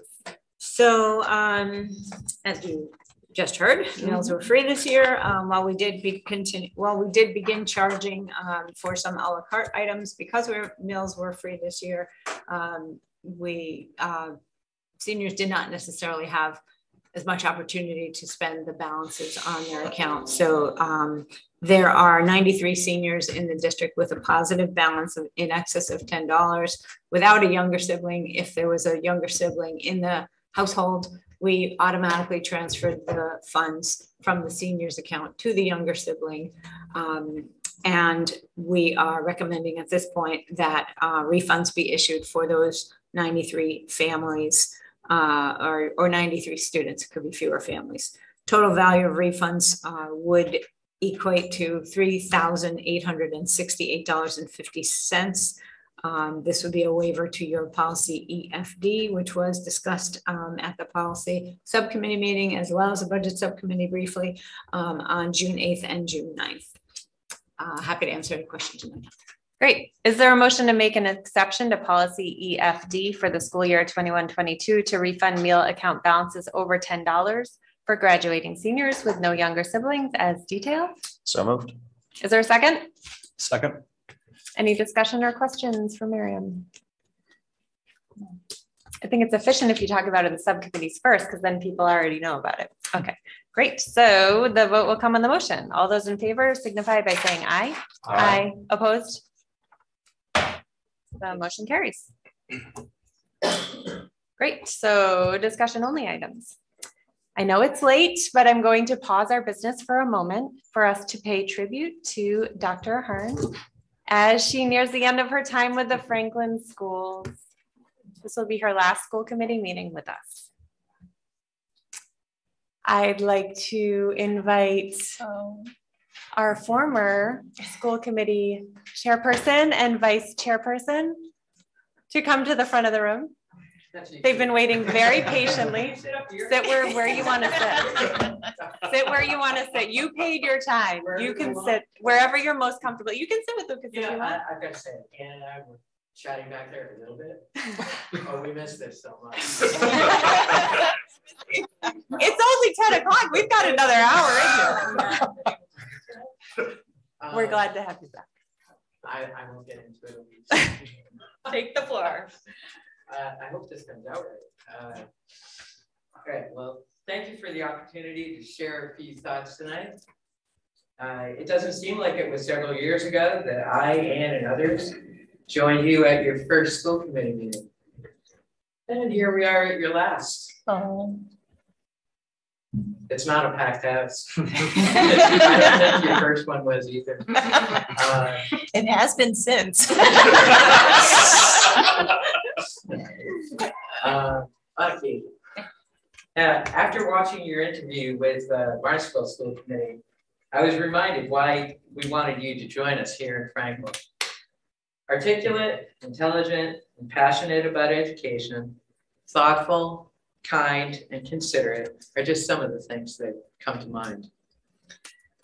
As I mentioned uh, after your selection, as I mentioned to you, it was like, why did it take so, them so long to offer you the position? I, I thought they were going to offer it to you right there on the spot. Uh, I'll never forget the phone call we made to you upstairs in the training room, uh, asking if you would join us as our superintendent. Uh, we were delighted when you said yes. we were actually jumping for joy. Uh, and you came on board and quickly owned the position. Was it always perfect? Of course not. Did you do a great job? Of course you did. You took everything in, assessed each situation, and never made decisions blindly, knowing that your decisions could impact every student in the district. And knowing how much you like to take credit, I'd like to give a huge shout out to your admin team because you all did it together. From policy to school start times, Davis Thayer, uh, to the pandemic, you led with confidence and grace. The pandemic didn't come with a handbook. It was new to all of us. And we just did the best that we could. Thank God it's almost over, maybe. While the majority of school committee members were so supportive of you during your tenure, most people don't know of how supportive you were to several of us during extremely difficult situations in our lives. For that, I'll always be grateful, and I know others will be too. Uh, well, this is all about you right now, Sarah. I can't miss the chance to congratulate Lucas uh, on his selection as our next superintendent and look forward to your successes, Lucas. Best wishes to you and your family in Barnstable. I, we're also fortunate that you've been our superintendent, Sarah. We'll miss you. And our loss is their gain. Thank you so much. Thank you. And up next. Okay. Thanks for letting me have this opportunity. Um, I know Sarah doesn't like it ever to be about her. We know that. Um, she's always the first to point to the team, which is true. She is surrounded by incredible people, and she is right to recognize them always. It is why she is such a strong leader. It was such an honor to work with Sarah during perhaps one of the most tumultuous times in our history, when it would have been easy to sort of raise a finger and check which way the political winds were blowing. Sarah looked to her heart, guided by wisdom, a keen intellect, and her compassionate nature, knowing it's not possible to please all the people all the time. But it was always with Sarah about doing the right thing. Sarah, we owe you a debt of gratitude. You led us all through the many storms with dignity and grace. You will, will be missed.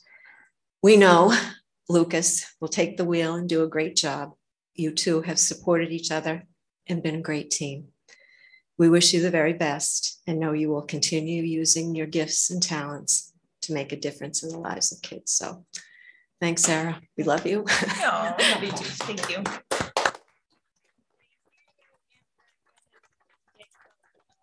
Much appreciated. And your patience is, is, we're very grateful for your patience. This has been a very long meeting. Um, other committee members, anybody else want to share a few words? I- Dave Callahan, do we? Um, yeah, I, I, I truly kind of echo everyone's uh, sentiment. Thank you so much uh, for for everything that you've done for the district, for for my kids. Um, you know, you really kind of set us off on a great path forward, uh, and I know that you're going to do tremendous work over in Barnstable. And thank you guys for bringing her to Franklin in the first place too. Truly Yes. appreciate that. Very true. Good point. Al Charles? Yeah, uh, just yes, thank you for your time. Um, you don't have to be the loudest person in the room to make an impact, and Mm. you have been felt everywhere you've gone. Um, behind the scenes, helping the, the central office, helping the, the leaders, uh, our super, or not superintendents, our principals, our, our faculty, just really provide the best for our students, and, and we couldn't have done this without you. So, so thank you. And, uh, thank you, Sarah, for your hard work and dedication to our community. We're much better for having had you and just wish you all the best in this next stage of your life. Thank you. Great. Uh, it's been a pleasure working with you and uh, I uh, really like your candor and, and professionalism. It's, uh, you know, the great. I'd like to recognize your um, professionalism as well and your grace and aplomb under pressure. Um, I'd also like to use the word compersion, which is something I only learned a few years ago, and is the sympathetic joy for someone else, even when their happiness doesn't benefit you. And I think all of us feel compersion um, for your choice to be closer to home um, and to follow um, your own self determined path, even if it doesn't benefit us directly.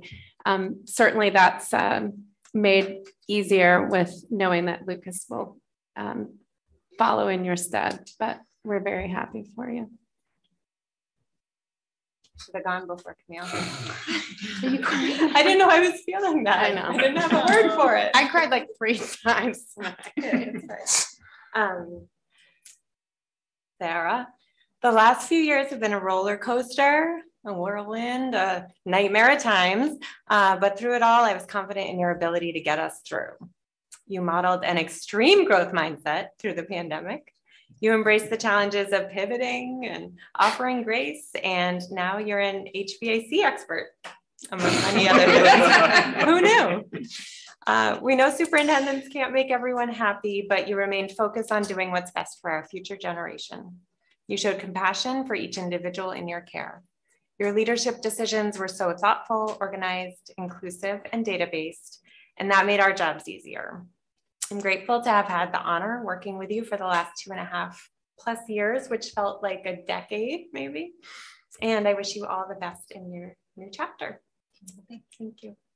We got you a parting gift, which is just a small token of our great big appreciation for your steadfast leadership and deep commitment to the Franklin Public Schools over these last five years.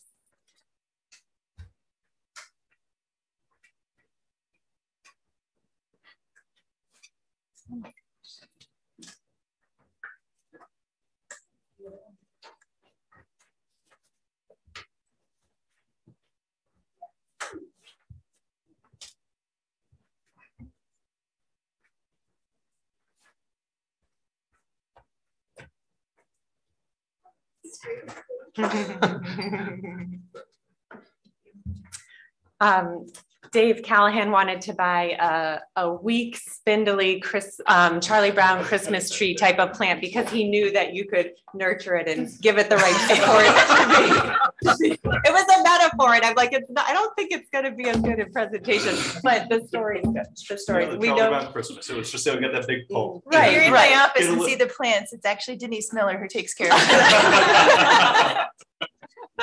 I aspire to be a gardener, but it hasn't happened. But um, thank you. I um, it's been an absolute honor uh, to serve as a superintendent here in Franklin, and it has just felt like uh, the perfect fit. Uh, I remember the phone call uh, from the school committee, and I thought it was just uh, it was so warm and welcoming, and I could hear the cheers in the background uh, when I got hired, and it just felt so good to be coming aboard. Um, not having been a superintendent and just having the faith um, of the committee at that time in in my work and um, applying my growth mindset to myself. I am not the same person uh, and the same superintendent and the same leader I was um, when I started. Um, and that is uh, because of your influence and the community's influence on me and, um, and how much I've grown. Um, and it's so bittersweet for me um, and, and so sad for me. And I have felt the compersion every step of the way. Um, and I just, I mean, it's just a tribute and a testament to how um, wonderful and beautiful uh, the people in Franklin are uh, to continue to feel supported um, as I kind of merge my personal and professional life together uh, instead of being uh, separated and, and stretched thin. Um, I want to thank each and every member of the school committees uh, that I have worked with. You, uh, it is a difficult, sometimes thankless and uh, grossly underpaid. And by that, I mean volunteer job. we weathered the pandemic together, but I took a paycheck home every other week. um, and you were there um, through thick and thin and um, what have been some really turbulent and very, very difficult times, always having my back. Um, Franklin students are in great hands with a very talented set of leaders, um, continuing upon a tremendous foundation. Um, and uh, as I as they had been when I arrived, the faculty and staff are uh, incredibly uh, dedicated and committed, uh, who are invested in the student outcomes. Um, and over and over and over again, um, our core values um, have have driven us each and every day social emotional development, a safe and inclusive school culture, high expectations for student success, and a collaborative community. And those four core values drove the decisions, drove those um, some of the commendations that you put in there, uh, you know, were certainly related to the core values. Um, we've weathered quite a storm together. Um, unfortunately, this storm has threatened the fabric of our society and has laid bare injustices, deep wounds, and intense emotions at a time when people are both reactionary and weary. And I would just um, hope that the community reflects on the consensus of the vision of the portrait of a graduate and work together, especially through disagreements, towards positive outcomes for each and every child in Franklin. I am your biggest champion and your biggest cheerleader. Um, I'll continue to be happy in celebrating your amazing successes. As one administrator told me when I joined here, uh, frankly, Franklin is a truly special and remarkable place, and indeed it is. And thank you for everything. I'm gonna miss it. I miss you.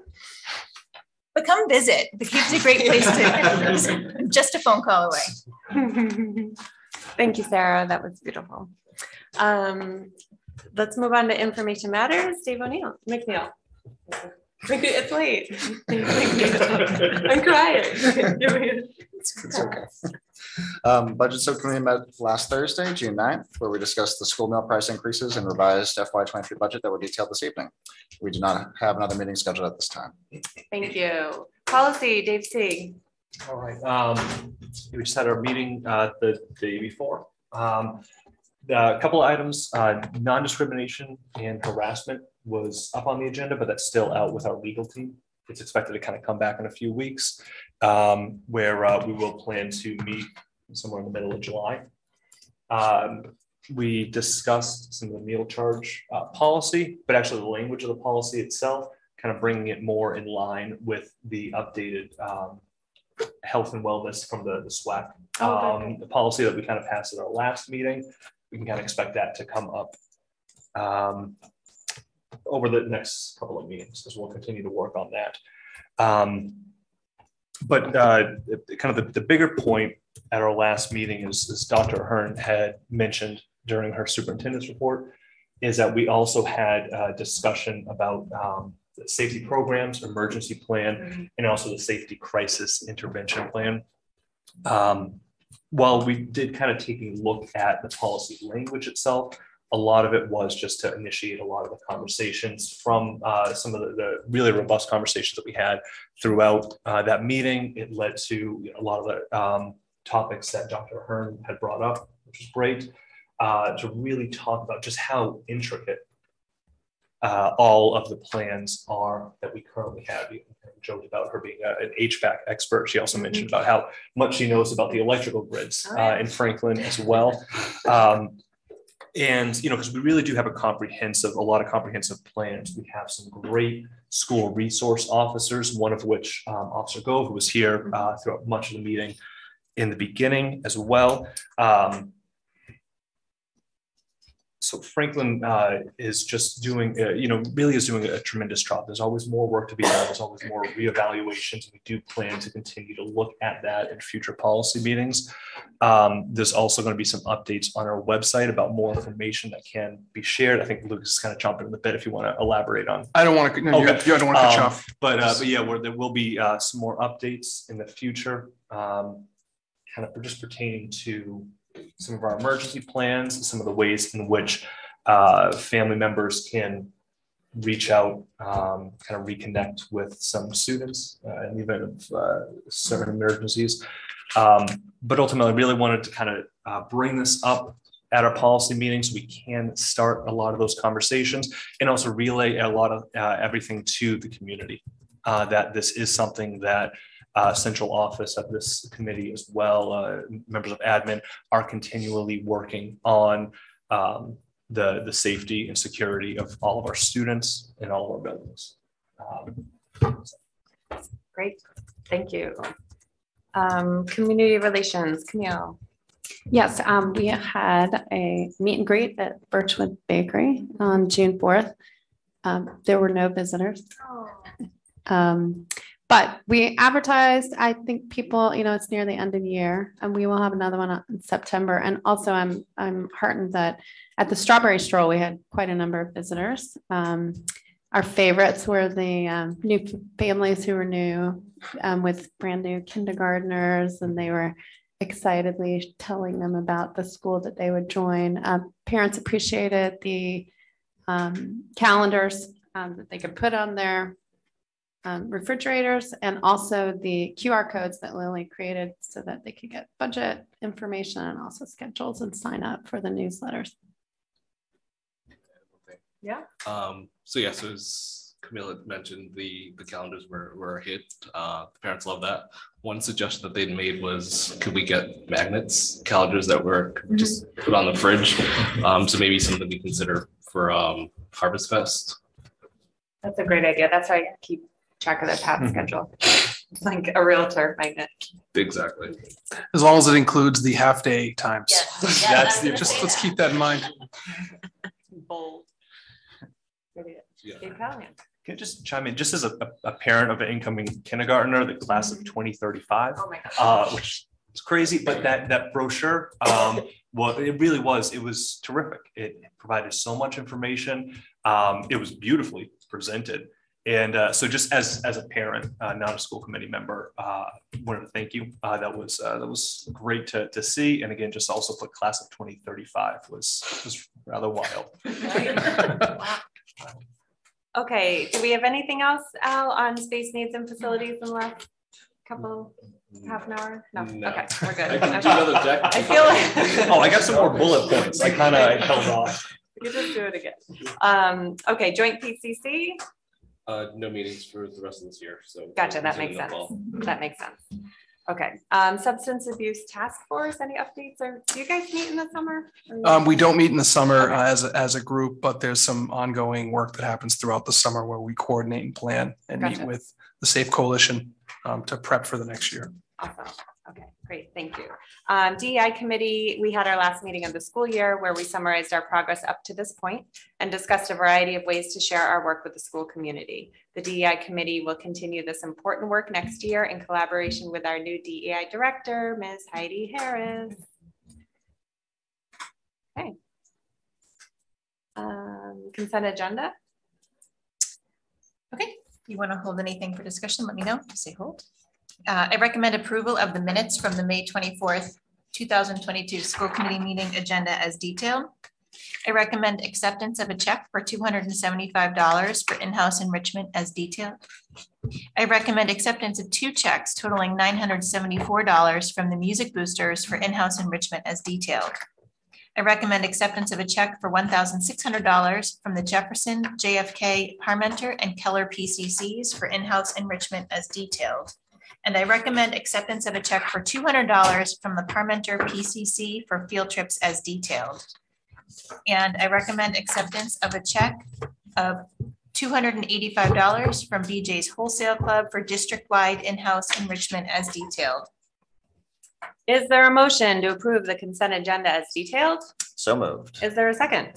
Second. Any discussion or questions? Seeing none, the vote will come on the motion. All those in favor signify by saying aye. Aye.